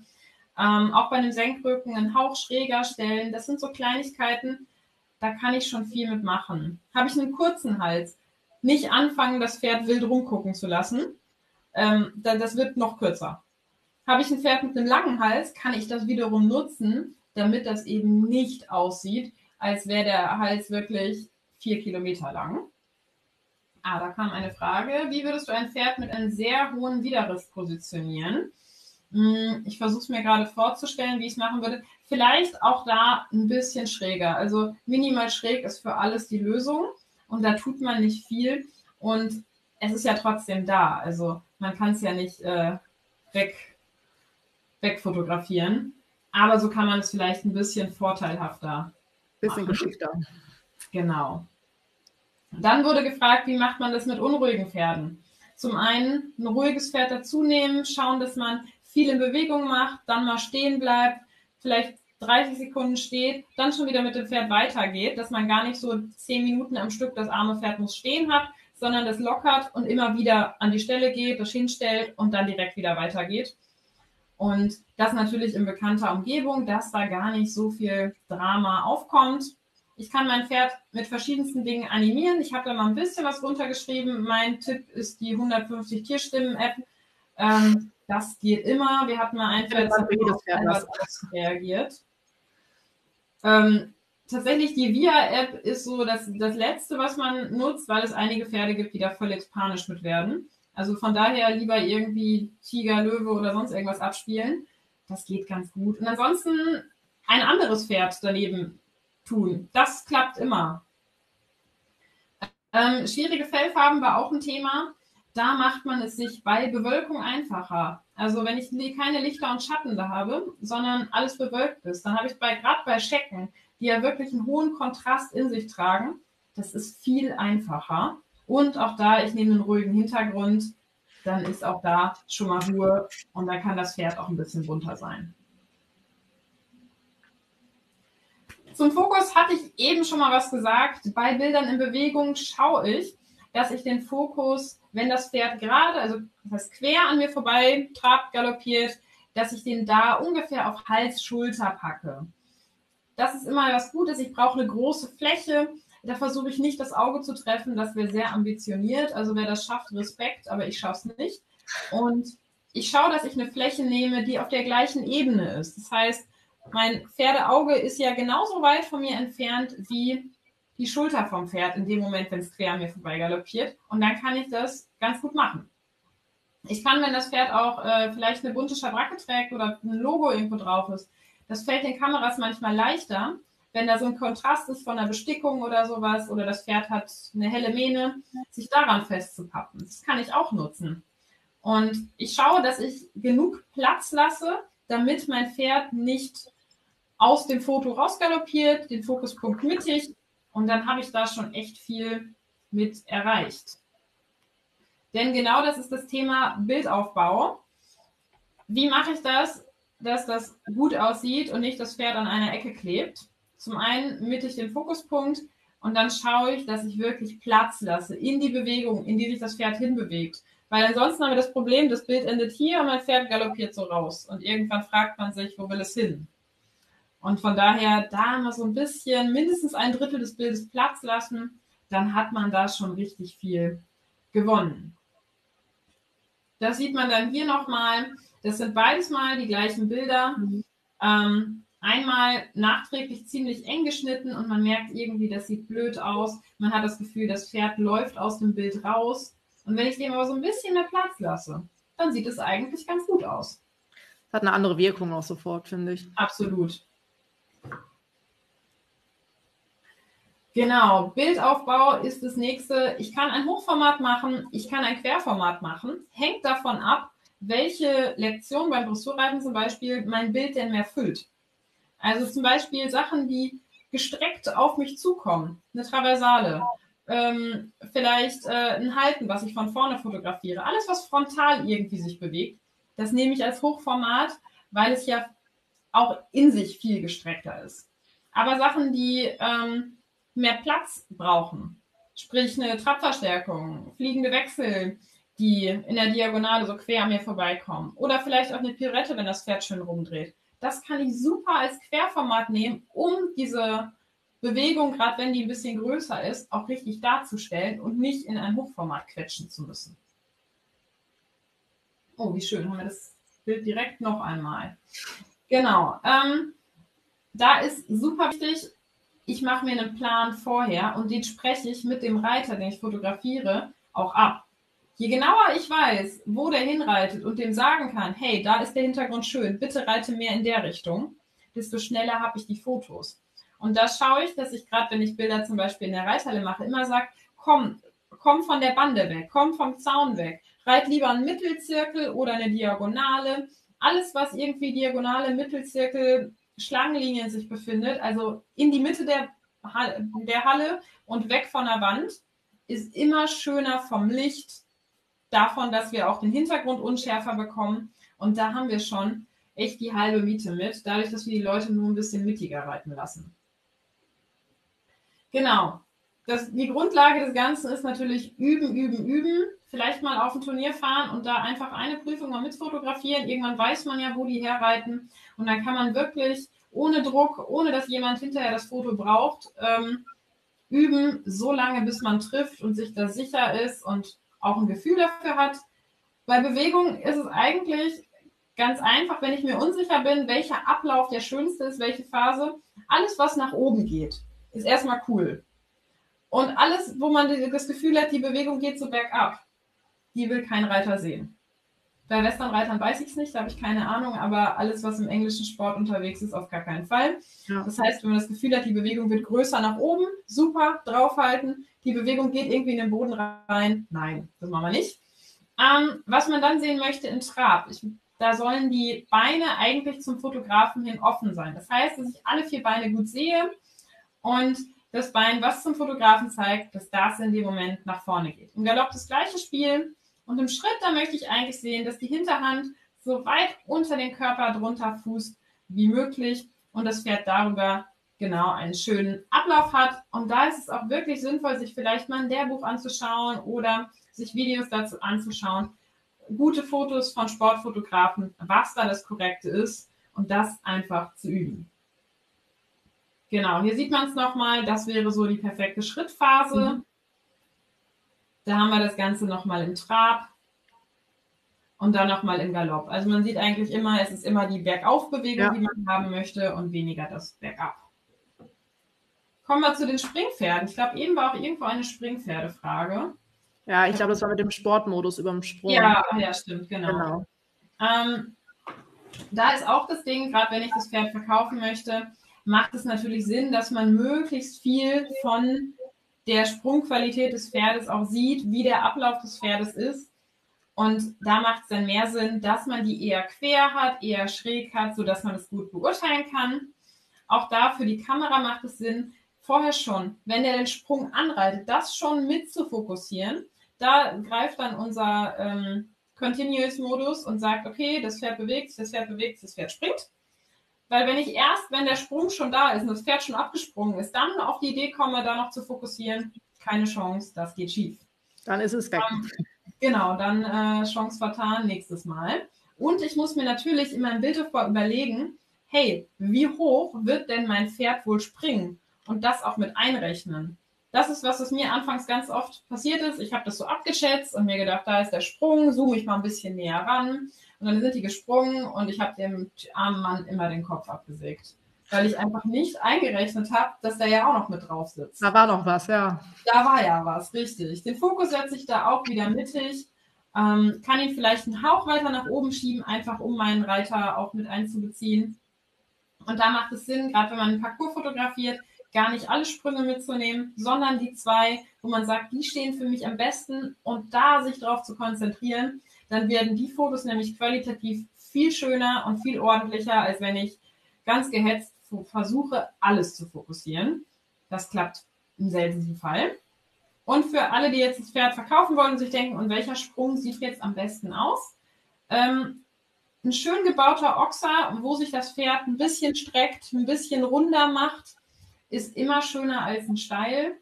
Und ähm, ja, ich denke, da präsentiert sich gerade das Springpferd eigentlich am besten. Und jetzt kommen wir nochmal zu so ähm, Gänge optimieren ohne Photoshop. Denken wir wieder an unsere Perspektiven. Wenn ich ein kleines Pferd größer machen will, kann ich mich ein bisschen kleiner machen. Klappt auch in Bewegung, dann sieht die Bewegung vielleicht auch ein bisschen größer aus. Möchte ich ein großes Pferd, was 1,95 Meter groß ist und das sieht einfach aus wie ein Elch und es soll vielleicht eher wie 1,80 Meter aussehen, dann kann ich mich selber vielleicht auf einen Hocker stellen oder im Stehen fotografieren und darüber sieht das Pferd ein bisschen proportionaler aus und man hat nicht direkt das Gefühl, man wird von dem armen Tier erschlagen. Das gleiche ist auch, mache ich ein Hochformat oder ein Querformat. Also fotografiere ich das Ganze hoch, strecke ich das Pferd, weil der ganze Bildformat ja schon hoch ist. Mache ich das Ganze quer, dann ist das Bild eher gestaubt. Das heißt, große Pferde eher quer fotografieren, kleine Pferde eher hoch fotografieren dann passt das schon. Und natürlich die Bewegung. Ich kann auch, wenn ich so ein bisschen schräg wieder fotografiere, schräg ist für alles die Lösung, ähm, wirkt auch eine Bewegung ein Hauch größer und vielleicht ein bisschen dynamischer, als sie in echt ist. Also man verfälscht ja nichts, man hat nur eine leicht andere Perspektive und darüber kann eine Bewegung vielleicht attraktiver aussehen. Die Halle war noch ein Thema. Auch da ähm, so viel Licht anmachen wie möglich, Blende so weit aufwachen, aufmachen wie möglich, alles mitnehmen, was geht. Zeit, man kann es auch mit einer 800 Sekunde machen, einfach damit man überhaupt noch ein bisschen Licht hat und ISO so hoch wie nötig, aber auch nicht übertreiben. Und dann, ich hatte es eben schon gesagt, schauen, wo ist es am hellsten in der Halle, wo muss mein Reiter hinreiten, damit da schön viel Licht ist. Und ähm, dann natürlich von der Wand wegholen, weil so eine Wand meist ja dunkel ist oder mhm. zumindest dunkler. Und ähm, da im seltensten Fall sind Wände hell beleuchtet. Also alles in die Mitte holen, dann wird der Hintergrund auch schön unscharf. Und dann kann man da echt was Schönes draus machen und dann gelingen auch Hallenbilder. Genau, da gar die Frage, ob es so eine Standardeinstellung dafür gibt, aber. Ja, die 800. Sekunde oder 1000. Sekunde, okay. ansonsten Blende so weit aufreißen wie möglich. Mhm. Alles, was man an Lichtquelle hat, reinlassen und das Beste hoffen. okay. Nee, also wirklich die Leute von der Wand wegholen und sich vorher überlegen, wo ist mein Punkt in der Halle, wo es am hellsten ist, mhm. den exzessiv nutzen. Das ist, glaube ich, so die halbe Miete. Vorhin war auch noch eine Frage bei Instagram. Da geht es wirklich darum, ich nehme mir Ruhe und Geduld und das Wichtigste ist, hat man vorhin schon getrunken, ist es müde, möchte eigentlich gerade schlafen, hat gar keinen Bock auf Fotos. Das muss vorher natürlich alles passieren, damit das Foto zu dem Fototermin on fire da ist und da ist und Bock hat und sich bewegen möchte und nicht schlurfi da steht und sagt, oh Mama, ich möchte jetzt eigentlich trinken, was soll die Alte da, ich habe gar keinen Bock. Das ist dann blöd.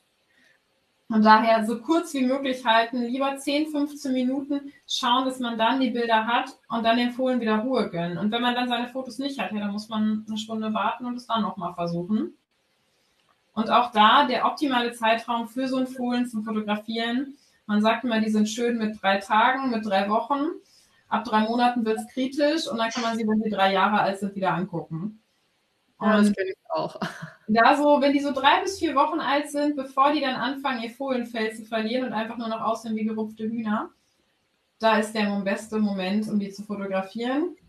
Freunde von mir, die sagen mal bei den ganz Jungen so, ah nee, diesen Klappspaten, das können wir noch nicht fotografieren, kommen in zwei Wochen wieder. Und äh, daher so drei bis dreieinhalb Wochen, das geht ganz gut. Ja, wenn so ein bisschen was dran ist. Genau, wenn sie nicht mehr ganz so ähm, spinnerig aussehen. Ja. Genau, dann sind wir nämlich gleich auch durch. Ich habe versucht, äh, doch ein bisschen schneller zu reden. Ja, ich habe gepasst. Dann können wir uns noch gleich ein paar Inserate angucken und okay. die meisten Fragen haben wir einfach parallel beantwortet. Von daher war das, glaube ich, ganz gut. Genau. Kommen wir noch zu den Pferden, die vielleicht noch nicht unterm Sattel sind und aber trotzdem ein Foto brauchen. Da haben wir zwei Varianten. Zum einen Freilaufbilder, zum anderen Fotos an der Longe. Wir fangen mal an mit den Freilaufbildern. Ich bin nämlich gar kein Fan davon, Pferde wild über die Wiese zu scheuchen. Da kriege ich so einen Hals bei, weil ich finde, das ist vermeidbar und es ist easy vermeidbar. Und man kann den Pferden auch einfach das ein bisschen ähm, schmackhaft machen und dann ist man auch viel schneller und ohne Stress und ohne doofes Gerenne über die Wiese davon ab. Das erste ist, ich brauche ein bis zwei Helfer und ein bisschen Futter. Und dann überlege ich mir, auf welcher Wiese mache ich das? Ich nehme vielleicht nicht die größte Wiese, wo ich dann vier Kilometer spazieren gehen kann, um mein Pferd wieder einzusammeln, sondern eher eine, die übersichtlich ist.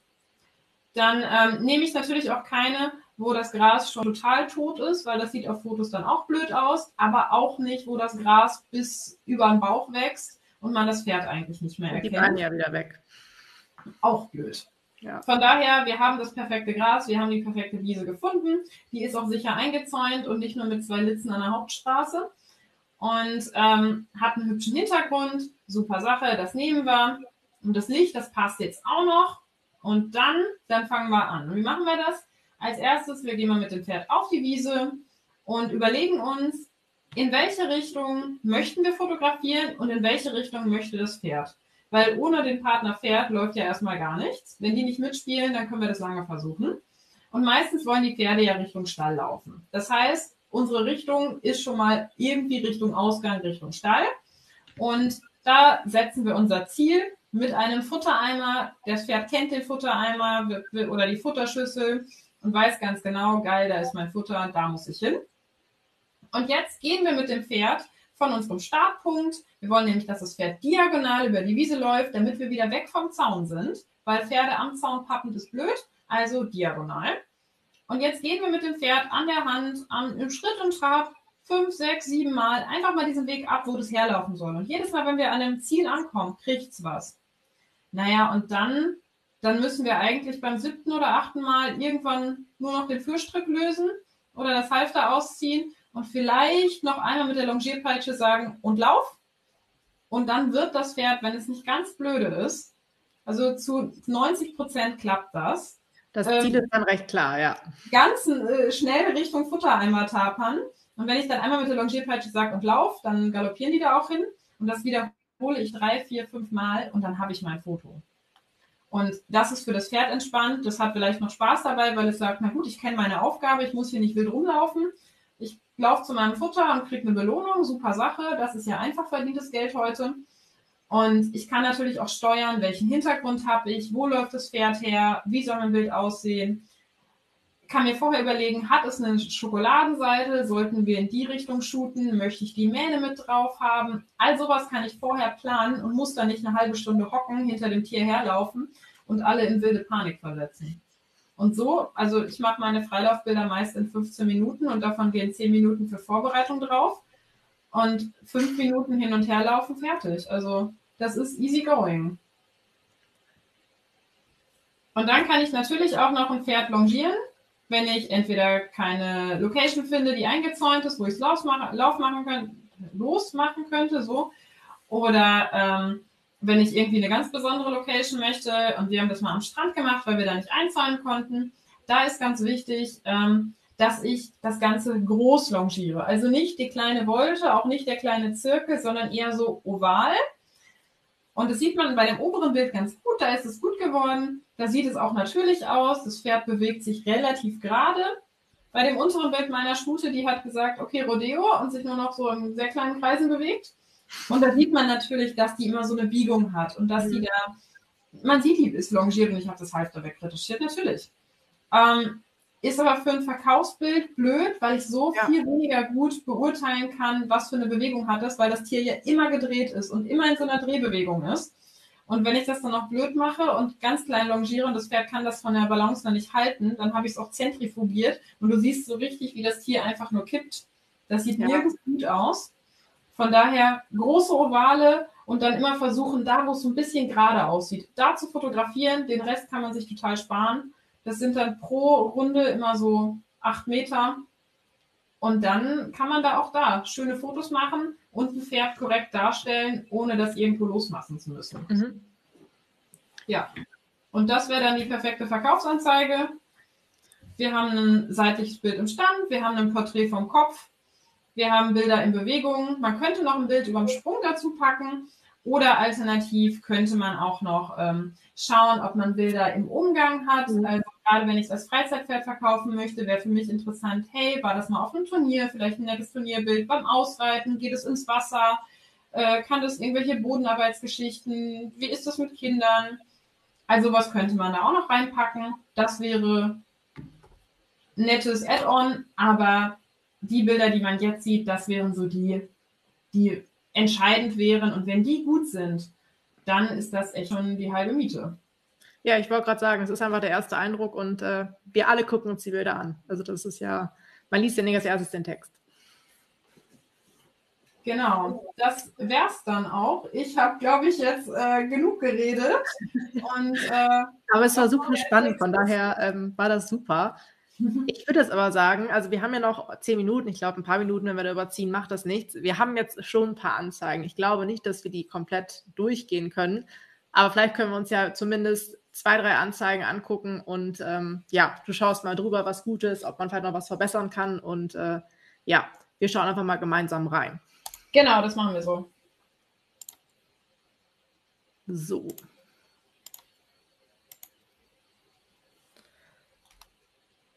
Dann hätten wir hier die erste Anzeige. Einmal der braune hier.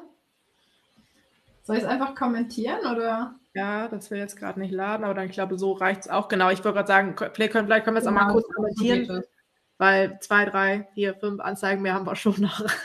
Okay, wunderbar. Also, der erste Eindruck würde ich sagen, ist gut. Ich erkenne das Pferd. Was ein bisschen schade ist, dass das Pferd so ein Hauch wegsteht äh, oder was heißt so ein Hauch wegschaut vom Fotografen. Es wäre natürlich schöner, wenn ich auch den Kopf mehr sehen würde, aber das steht gut. Vorne vielleicht ein bisschen geschlossen, da könnte es schöner sein, wenn ich das hintere Vorderbein ein bisschen mehr sehe, aber alles im Rahmen. Ich kann das Pferd so gut beurteilen, würde ich sagen, als Standbild. Auch ein ruhiger Hintergrund, alles gut. Ja, genau, ein Bild vom Kopf haben wir noch. Ja, es ist ein Kopfbild, man erkennt den Kopf. Es wäre natürlich schöner, wenn wir auch ein bisschen mehr Hals drauf mhm. hätten. So sieht es ein bisschen mickrig aus. Und ich glaube, das Pferd hat eigentlich einen schönen Hals, aber der kommt leider gar nicht rüber und der Kopf ja. ist sehr, sehr präsent. Da wäre es schöner, wenn da die Proportion so ein bisschen schicker wäre. Ja, genau. Das mit dem Weggucken habe ich auch gedacht. Das ist mir vorher gar nicht so aufgefallen, aber als du das eben alles erklärt hast, findet man ja doch dann so ein paar Optimierungspunkte. Ne? Wenn man einmal ein Auge dafür entwickelt. Ja, aber wahrscheinlich jetzt geht das los, dass man jede Anzeige ja, ja, noch mehr kennt. genau. Dann springen wir mal weiter zum deutschen Reitpony. Ja, wir haben ein Turnierfoto. Ähm, genau, warte. Genau, soll ich die Fotos einmal durchgehen? Das ist vielleicht am einfachsten. Genau, noch ein Turnierfoto.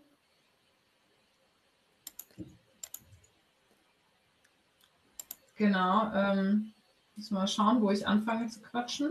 Ich wollte gerade sagen, ich gebe einfach einmal alle durch und dann könnt ihr vielleicht einmal vorne anfangen. Okay, so machen wir es. Genau, und hier nochmal einmal. Genau, aber so, das ist jetzt ja erstmal das erste Bild. Genau, das erste Bild finde ich gelungen. Also ich erkenne das Pferd gut, es ist ein bisschen hinter der Senkrechten, vielleicht ist es noch ein junges Pferd. Ähm, von der Phase, das passt. Ist ja frei, ja. Okay, man hat ein bisschen das Gefühl, dass es ein bisschen gerade bergab läuft. Was heißt, bergab ist übertrieben, aber dass es so ein bisschen kippt, als würde die ähm, Reiterin ein bisschen sehr auf der Schulter hocken. Ansonsten, ich erkenne das Pferd gut und der Hintergrund passt, da würde ich jetzt nichts dran meckern. Genau, dann geht es mit dem Galoppbild weiter. Genau, da auch Phase getroffen, Hintergrund ein bisschen unruhig. Also da hätte man gucken müssen, aber vielleicht ein besseres, das nicht gerade die Bierzeltgarnitur zeigt. ja. Und ähm, ha, der Sporn im Pferd, hm, auch nicht so ja. das Optimum. Aber ansonsten würde ich sagen. Von der Bewegung, glaube ich, gut, ja. Ja, von der Bewegung, das passt schon. Genau. Das finde ich super, das Bild. Mhm. Da sieht man viel mehr Galoppade. Das sieht auch weniger festgehalten aus als bei dem anderen vorher. Und vom Hintergrund her super. Also das wäre das Bild, was mich echt ansprechen würde. Tipptopp. Würdest du das dann zum Beispiel eher weiter vorne sehen, oder? Ich glaube ja, weil ich das, also ich finde, das Pferd sieht fertiger aus und qualitativ mhm. auch von der Bewegung besser als bei diesem festgehaltenen Turniergaloppbild. Da fand ich es von, vom Durchsprung und allem nicht ganz so schön. Ja, ja, das ist mir auch aufgefallen, genau. Genau, Kopfbild haben wir auch. Genau, da hätte man ein bisschen mehr Hals-Widerriss ähm, dran lassen können und allgemein auch da so ein bisschen mehr nach unten, also ein bisschen mehr Bein vielleicht, ähm, dass man auch sieht, wo das Pferd hinschaut, dass es einfach im Gesamten ein bisschen schicker wirkt. Aber ich erkenne den Kopf, ich erkenne auch die Halsung, aber es wäre halt schön, wenn ich den Halsansatz noch so ein bisschen besser erkennen würde. Mhm. Genau, das würde ich unter Turnier Schnappschuss ja. verbuchen und fällt in die Kategorie nettes Pferd, was alles mitmacht. Finde ich auch sympathisch, wollte gerade sagen. Ja. Genau. Noch ein genau, weiteres Bild. Ich finde es fast besser als das andere. Die Reiterin ist zwar ein bisschen mit, äh, mit dem Schenkel dahinter, mhm. aber ich finde es, äh, bei dem anderen Bild hatte ich mehr das Gefühl, dass das Pferd bergab läuft. Hier sieht es irgendwie lockerer aus. Bisschen so größere Bewegung, ja. Ja, mich stört halt wirklich, dass ich das Gefühl habe, die Reiterin hockt mit dem Sattel so ein bisschen auf der Schulter. Mhm. Aber das ist, na gut, das ist eine andere Baustelle. Ja. Aber bildtechnisch würde ich sagen, ansonsten passt das. Ich kenne mhm. die Bewegung gut, alles gut. Genau, genau das finde ich, find ich vom Ablauf her alles gut. Nur der Hintergrund, klar, das ist halt nicht so optimal. Ja. Ähm, aber ansonsten ansprechendes Bild, ja. Genau, nochmal ein Standbild. Genau, da, da wird mich jetzt dieses Haus äh, irgendwie schon stören. Und hier würde ich echt darauf achten, dass das Pferd äh, doch ein bisschen mehr Bein bekommt, dass mhm. man dann nicht so schnack unter der Schulter abschneidet. Dann wird das Ganze noch ein bisschen gestreckter, schicker mhm. aussehen. Und ein letztes Bild. Genau, ich glaube, das ist, sieht nach Handybild und wir waren relativ mhm. nah dran aus. Da wäre ich doch. Da merkt man auch wirklich jetzt einen Unterschied, so wenn man einmal alle Bilder durchguckt, ne? Ja, Wahnsinn. Also da haben sich die Proportionen echt verändert. Und hier steht es natürlich hinten nicht so gut. Mhm. Und der Hals wirkt irgendwie unproportional lang. Also das finde ich jetzt nicht ganz so gelungen. Da waren die anderen doch bedeutend besser. Ja. Gut, dann gehen wir einmal weiter. Dann haben wir diesen Wallach noch. So, vom ersten Bild, was sagst du? Ähm, so Schwarz-Weiß-Bilder, die erinnern mich immer an Traueranzeigen. Ich denke immer jedes Mal, das Pferd ist gestorben. Oh Gott. Aber vom ich Bild her, ich glaube, wenn es in Farbe wäre, richtig schön, richtig ansprechend. Ja. Genau, wir können mal weitergehen, dass es ein bisschen fröhlicher wird. Genau, wir sehen einen erfolgreichen Turnierschnappschuss. Mhm. Finde ich gut, ansprechend. Von den Bildern mit der Decke gut. Ich sehe, dass die auch äh, irgendwo mal erfolgreich waren, ja. aber spricht mich jetzt nicht körpertechnisch irgendwie an. Da kann ich jetzt nichts drunter beurteilen, da kannst du ja alles drunter verstecken. Ja. Dann auch nochmal ein Turnierbild. Genau, Turnierbild sieht auch eher aus wie entweder aus einem Handy oder ein Videoscreenshot. Qualitativ könnte natürlich besser sein, aber ich ja. erkenne, dass das Pferd einen netten Galoppsprung hat. Das sieht alles gut aus. Ist natürlich ja der Hintergrund jetzt nicht so das Optimum. Es wäre halt mhm. halt schöner, wenn das Pferd mehr vom, von dieser Hecke wegkäme und wir es ein bisschen näher dran hätten. Ja. Genau, gibt einige Turnierfotos. Genau, das sieht doch auch gut aus. Oh, springen kann er auch. Ja. Ja, schön. Finde ich auch gut. Würde ich mhm. auch so drin lassen. Sehe ich, dass er einen guten Sprung macht. Wäre natürlich noch schön, wenn man auch eins quer hätte, dass man da mehr den Ablauf beurteilen ja. kann als von vorne. Mhm. Aber ich glaube, das Pferd soll ja nicht hauptberuflich Springpferd werden. Nee, ich glaube, da ist ein anderer Fokus da. Aber ich finde, wenn die beides können, ist es ja auch mal super, wenn man das einfach auch zeigt. Ne? Ja, absolut. Also das ja keine Metersprünge sein, aber. Nee, wenn man ein bisschen zeigt, dass das Pferd auch mal einen Sprung gesehen hat, ja. dann muss das ja nicht das Ding sein. Genau, Ausreitbild auch super. Und hundefreundlich. Hm. Gut, da haben wir jetzt ein bisschen wenig Hals drauf, also ist ja mhm. wirklich nur der Kopf. Das ist so ein bisschen knapp, da kann ich wirklich gar nichts von beurteilen. Was mir jetzt in der Anzeige, ich weiß nicht, ob das noch kommt, noch nee, fehlen würde, wäre wirklich mal ein Bild, wo ich das Pferd im Körper quer komplett beurteilen kann. Ja. Also ansonsten eine schöne Anzeige, mhm. aber da fällt die Beurteilung, das ist natürlich schon schwieriger. Ja, auf jeden Fall. Genau.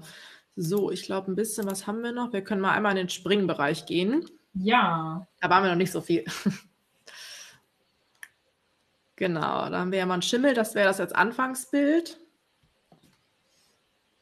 Ja, ein, ein Schimmel, der irgendwo in der Siegerehrung stand. Mhm. Mehr kann ich da noch nicht zu beurteilen. Ich weiß nicht, ob ich das Bild genommen hätte. Also der, der springt schön, aber ich finde es von der Phase einen Hauch zu früh, weil der mhm. natürlich gar nicht rund wird über dem Sprung. Und das ist ja eher das, was man sehen möchte. Ja. Dass die so ein bisschen runder sieht, gerade aus, als wäre er eigentlich gerade abgesprungen. Mhm. Aber zumindest kann ich das Pferd quer ganz drauf erkennen und das schon ein bisschen beurteilen. Genau. Dann genau, das finde ich viel schöner. Würdest du auch definitiv vor dem anderen setzen? Ja, oder? absolut. Okay. Ja. Genau, von daher, ja, also von allen drei Bildern würdest du das letzte dann ganz nach vorne setzen? Weil ich denke schon. Also, okay. Das wäre für mich, glaube ich, also da würde ich dann schon sehen, hey, das Pferd macht einen schönen Sprung. Mhm. Und ich würde das eine Bild, glaube ich, schon austauschen, das so der quasi gerade abgesprungen ist gegen einen Also ganz rausnehmen dann eher, oder? Er sieht ja nicht unvor, also das Pferd sieht ja nicht mega unvorteilhaft daraus aus, aber auch da fehlt mir so die Beurteilung ohne Sattel, als auch mhm. vielleicht mal ein Kopfbild, wo ich den Pferdekopf, ohne dass da eine Schleife Leder und äh, noch irgendwie ein Fliegenhäubchen drauf ist, auch das richtig zu beurteilen. Ja. Genau, und ich glaube zum Schluss. Ähm... Oh, eine Spezialrasse wird gewünscht. Oh, wie haben wir denn hier? Wir nicht einen Spanier? Fällt das unter ja. Spezialrasse oder muss noch spezieller sein? Ich wollte gerade sagen, ist die Frage, wie man Spezialrasse jetzt definiert. genau, weil ich würde jetzt tatsächlich mit dem abschließen, dass wir da noch kurz drüber gucken. Ja. Ich, also glaub, ich meine, letztendlich, oder? die ganzen Tipps lassen sich ja auf alle Pferde anwenden. Richtig. Von daher. Wobei ich auch sagen würde, also wenn es so um richtige Spezialrassen geht, wie jetzt einen Isländer oder mhm. verschiedenste Westernpferde, Gangpferde etc., also da würde ich wirklich mit einem Fotografen zusammenarbeiten, der entweder selber aus der Szene kommt oder sich wirklich lange damit beschäftigt hat und genau weiß, was da zu sehen ist. Weil ich könnte, obwohl ich wirklich tausende Pferde schon fotografiert habe, ich wüsste nicht, wie ein Isländer richtig aussieht oder wie ich ähm, ein Gangpferd richtig darstelle und was die sehen wollen, weil den, den Blick habe ich ja gar nicht, wenn man da nicht drin steckt. Und ja. da würde ich wirklich schauen, da auch mit einem Profi zusammenzuarbeiten, nicht, dass äh, aus einem Gangpferd auf einmal ein Warmblüter wird. Ja, ich meine auch im Western-Bereich, ich glaube, da muss man dann nochmal sich bewusst machen, was da eigentlich, was man da einfach sehen möchte. Also ich bin auch sehr englisch Absolut. unterwegs, wüsste ich jetzt auch nicht, was da wirklich dann ein gutes Foto ist. Also mich würde wahrscheinlich vieles ansprechen, wo viele Experten sagen würden, oh, ist aber gar nicht so gut. Richtig. Denke, sieht schön aus. Genau, aber ich glaube, den PRE können wir noch einmal anschauen. Ja, schauen wir den noch an. Genau. Okay, also. Wir können auch vorne direkt anfangen, ja. Die Qualität von den Bildern ist ähm, spannend. Die hätte man einen Hauch höher rechnen können. Dann ein mhm. dickes Logo drauf. Ich weiß nicht, das ist auch ein bisschen unruhig. Also ich verstehe das schon, dass man sagt, man möchte nicht, dass die Pferde und Bilder durchs Internet wandern, aber ich glaube, man hätte das ähm, einen Hauch kleiner gestalten können. Und äh, ja, Hintergrund, es ist halt alles sehr gelb, da, was das Pferd auch automatisch einen Hauch schmutziger aussehen lässt. Und der Hintergrund ist dadurch mit diesem Stromzaun allem relativ unruhig. Also ja. Genau, ich so. Location bleibt gleich. Genau, an umgefallenen Strohballen tut sich nichts. Wenn wir ein Pferd, was an der Longe noch nicht ganz im Gleichgewicht ist, der streckt sich zwar schön, die Bewegung ist ein Hauch zu spät fotografiert, also der hat hinten quasi, hat er noch nicht, nicht mehr Bodenkontakt. Ähm, ja, also ich, ich kann das Pferd zumindest im Körper so ein bisschen beurteilen. Wäre jetzt aber nicht das optimale Gangbild. Mhm. Sieht auch aus, als wäre es an der Longe noch mit äh, entstanden. Mhm. Auch da jetzt nicht so das Optimum. Da hätte man einen Hauch mehr Bein doch dazulassen können oder wirklich nochmal einzelne Porträts machen können. So ja. sieht ja doch ein bisschen angeschnitten aus. Ui, das hätte ich äh, gelöscht und zwar sofort. Ähm, da haben wir zum einen eine Phase, die jetzt nicht so der Hammer ist. Mhm. Ich weiß gar nicht, ob im Trab überhaupt diese, diese Gangphase existiert oder ob das ein Spanier-Phänomen ist. Und natürlich dieser unfassbar unruhige Hintergrund mit diesem Logo dick da drüber. Also dem Bild kann ich gar nichts abgewinnen. Ja, ja, es ist viel zu viel, ne? Genau, das finde ich ganz gut. Also da sieht ja. er freundlich aus, schaut einen nett an. Ist jetzt nichts, wo ich den Körper großartig beurteilen kann, aber ein Bild von einem Pferd, das freundlich aussieht. Mhm. Genau, hier sehe ich schon ein bisschen mehr. Was der für einen Halsansatz hat, finde ich besser als das andere Longenbild vorher. Auch hier könnte man einen Hauch mehr Bein dran lassen, finde ich aber gar nicht schlecht, das Bild. Ja, ich wollte gerade sagen, den Hals erkennt man da, finde ich schon sehr gut. Ja. Ah, okay, so ein Bild gibt es auch. Das ist auch so ein Spanier-Phänomen, dass man die ganz geschlossen hinstellt. Mhm. Das finde ich ein bisschen schade. Da hätte man den ein bisschen mehr geöffnet stellen können. Aber ich weiß, dass Spanier das schon, also dass es eher da so gemacht wird. Mhm. So kann ich zumindest den Körper aber gut beurteilen. Finde ich gut. Gut Hintergrund, es hat sich noch nichts dran getan. Man hätte vielleicht den Platz vorher abäppeln können. Mhm. Würdest aber, du aber trotzdem weiter nach vorne setzen? Einfach so ja, auf jeden Fall. Genau. Genau, hier haben wir auch nochmal einen unsauberen Platz mit einer Trappphase, die grausig aussieht, würde ich löschen. Okay. Genau, das sieht auch gut aus. Ja. Schönes Bild, würde ich auch viel weiter nach vorne tun. Ja, Kommt ein bisschen spät, finde ich auch. Ja. Doch eine ganz andere Erscheinung dann sofort. Ja, ich glaube, das, also das, das sieht ja auch echt irgendwo spannig aus. Also finde ich, ist jetzt für ihn nicht so vorteilhaft, wo er noch so ein bisschen mit dem Hals dann hochkommt. Also hm. haut mich jetzt nicht so vom Hocker. Ja. Da das gleiche sieht man auch, mhm. Pferd zentrifugiert, kippt nach innen. Mhm. Genau, das, was du auch eben sagtest, was man eben nicht machen genau. sollte. Zu eng longiert und dabei Fotos gemacht. Schade. Ja. Aber so lernen wir das ja alles, dass es dann, wie es richtig geht am Ende. Genau, ja, das Bild ist okay, aber nichts, wo, wo ich jetzt irgendwie ein Pferd danach aussuchen und kaufen würde, mhm. glaube ich. Genau, da hatten wir andere Bilder, die schöner waren, würde ich auch ja. rausnehmen, allein schon wegen der Macken am Hals. Ja. Das ist auch wieder so eine merkwürdige Trabverschiebung, würde mhm. ich auch rausnehmen. Da steht er ganz schön. Das ja. finde ich gut, würde ich als, eines der ersten Bilder mit reinnehmen. Ja, wenn nicht sogar das erste, ne? Ja, auf jeden Fall. Genau, das hatten wir das nicht schon? Das kommt mir so bekannt vor. Ich glaube in ähnlicher Form. Also wir sind immer noch ah, okay. Wollen, aber ja. Genau. Ja, aber es sind ähnliche Bilder auf jeden Fall. Ja. Ne? Dann wahrscheinlich also ein bisschen minimiert. dabei, aber einige, wo man sich dann schon denkt, so schade. Ja, das mhm. zum Beispiel. Ja. Ja, das kommt leider dann gar nicht zum Geltung, ne? Ja, also. Ja, so eins finde ich auch gar nicht verkehrt. Das mhm. würde ich dann. Also dazwischen sind so Bilder dabei, wo man sich so denkt, so, nee, bis dahin fand ich das Pferd gut, jetzt ist so ein mega merkwürdiges Bild dabei und dann, dann wieder nicht. Ja, ist ein bisschen schade, wenn die Bilder das danach eigentlich kaputt machen, wenn man das Pferd eigentlich gut findet, ne? Ja, also ich finde ihn eigentlich schick, aber zwischendurch sind da halt echt so Phasen drin, wo du so denkst, so, nee, schade. Ja. Ja, dann ein bisschen wahrscheinlich besser selektieren und will ich dann mal die, die Hinguckerbilder nehmen, auf vier oder fünf beschränken. Genau. Und dann, ähm, ja, das Pferd will ich optimal präsentieren. Genau, genau. das wäre das letzte Bild.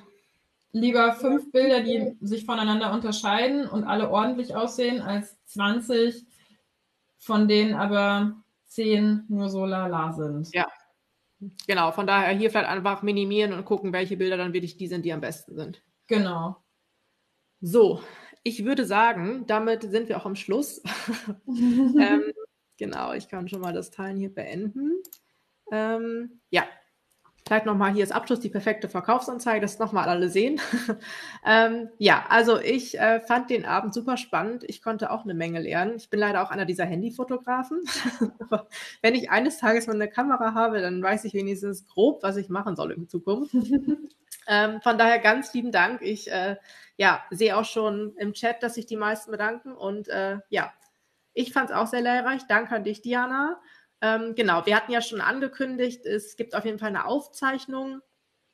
Die werden wir morgen übermorgen rumschicken. Ähm, wir hatten ja eigentlich noch eine kleine Ankündigung geplant, weil du ja auch noch ein paar weiterführende Seminare hast. Die packe ich einfach alle mit in die Mail rein, weil ich glaube, sonst geht das hier unter, weil dann doch viele ja. Informationen kamen. Äh, genau, die gibt es dann morgen auch in der Mail. Da gibt es auch noch einen kleinen Rabattcode zu, dass ihr sozusagen, wenn ihr dann weitermachen wollt, ähm, dass ihr das auch noch für kurze Zeit vergünstigt bekommt. Ich glaube, das ist ganz gut als Aufbau dann tatsächlich, dass man ähm, ja, sich da wirklich optimal drauf einstellen kann. Von daher, ja, sind wir am Schluss angelangt. Ganz, ganz lieben Dank an dich und auch ans Publikum für die vielen Fragen, die das Ganze natürlich auch mit aufgelockert haben. Ähm, ja, und dann würde ich sagen, allen noch einen schönen Abend und äh, dann bis hoffentlich zum nächsten Webinar bald. Tschüss. Ciao.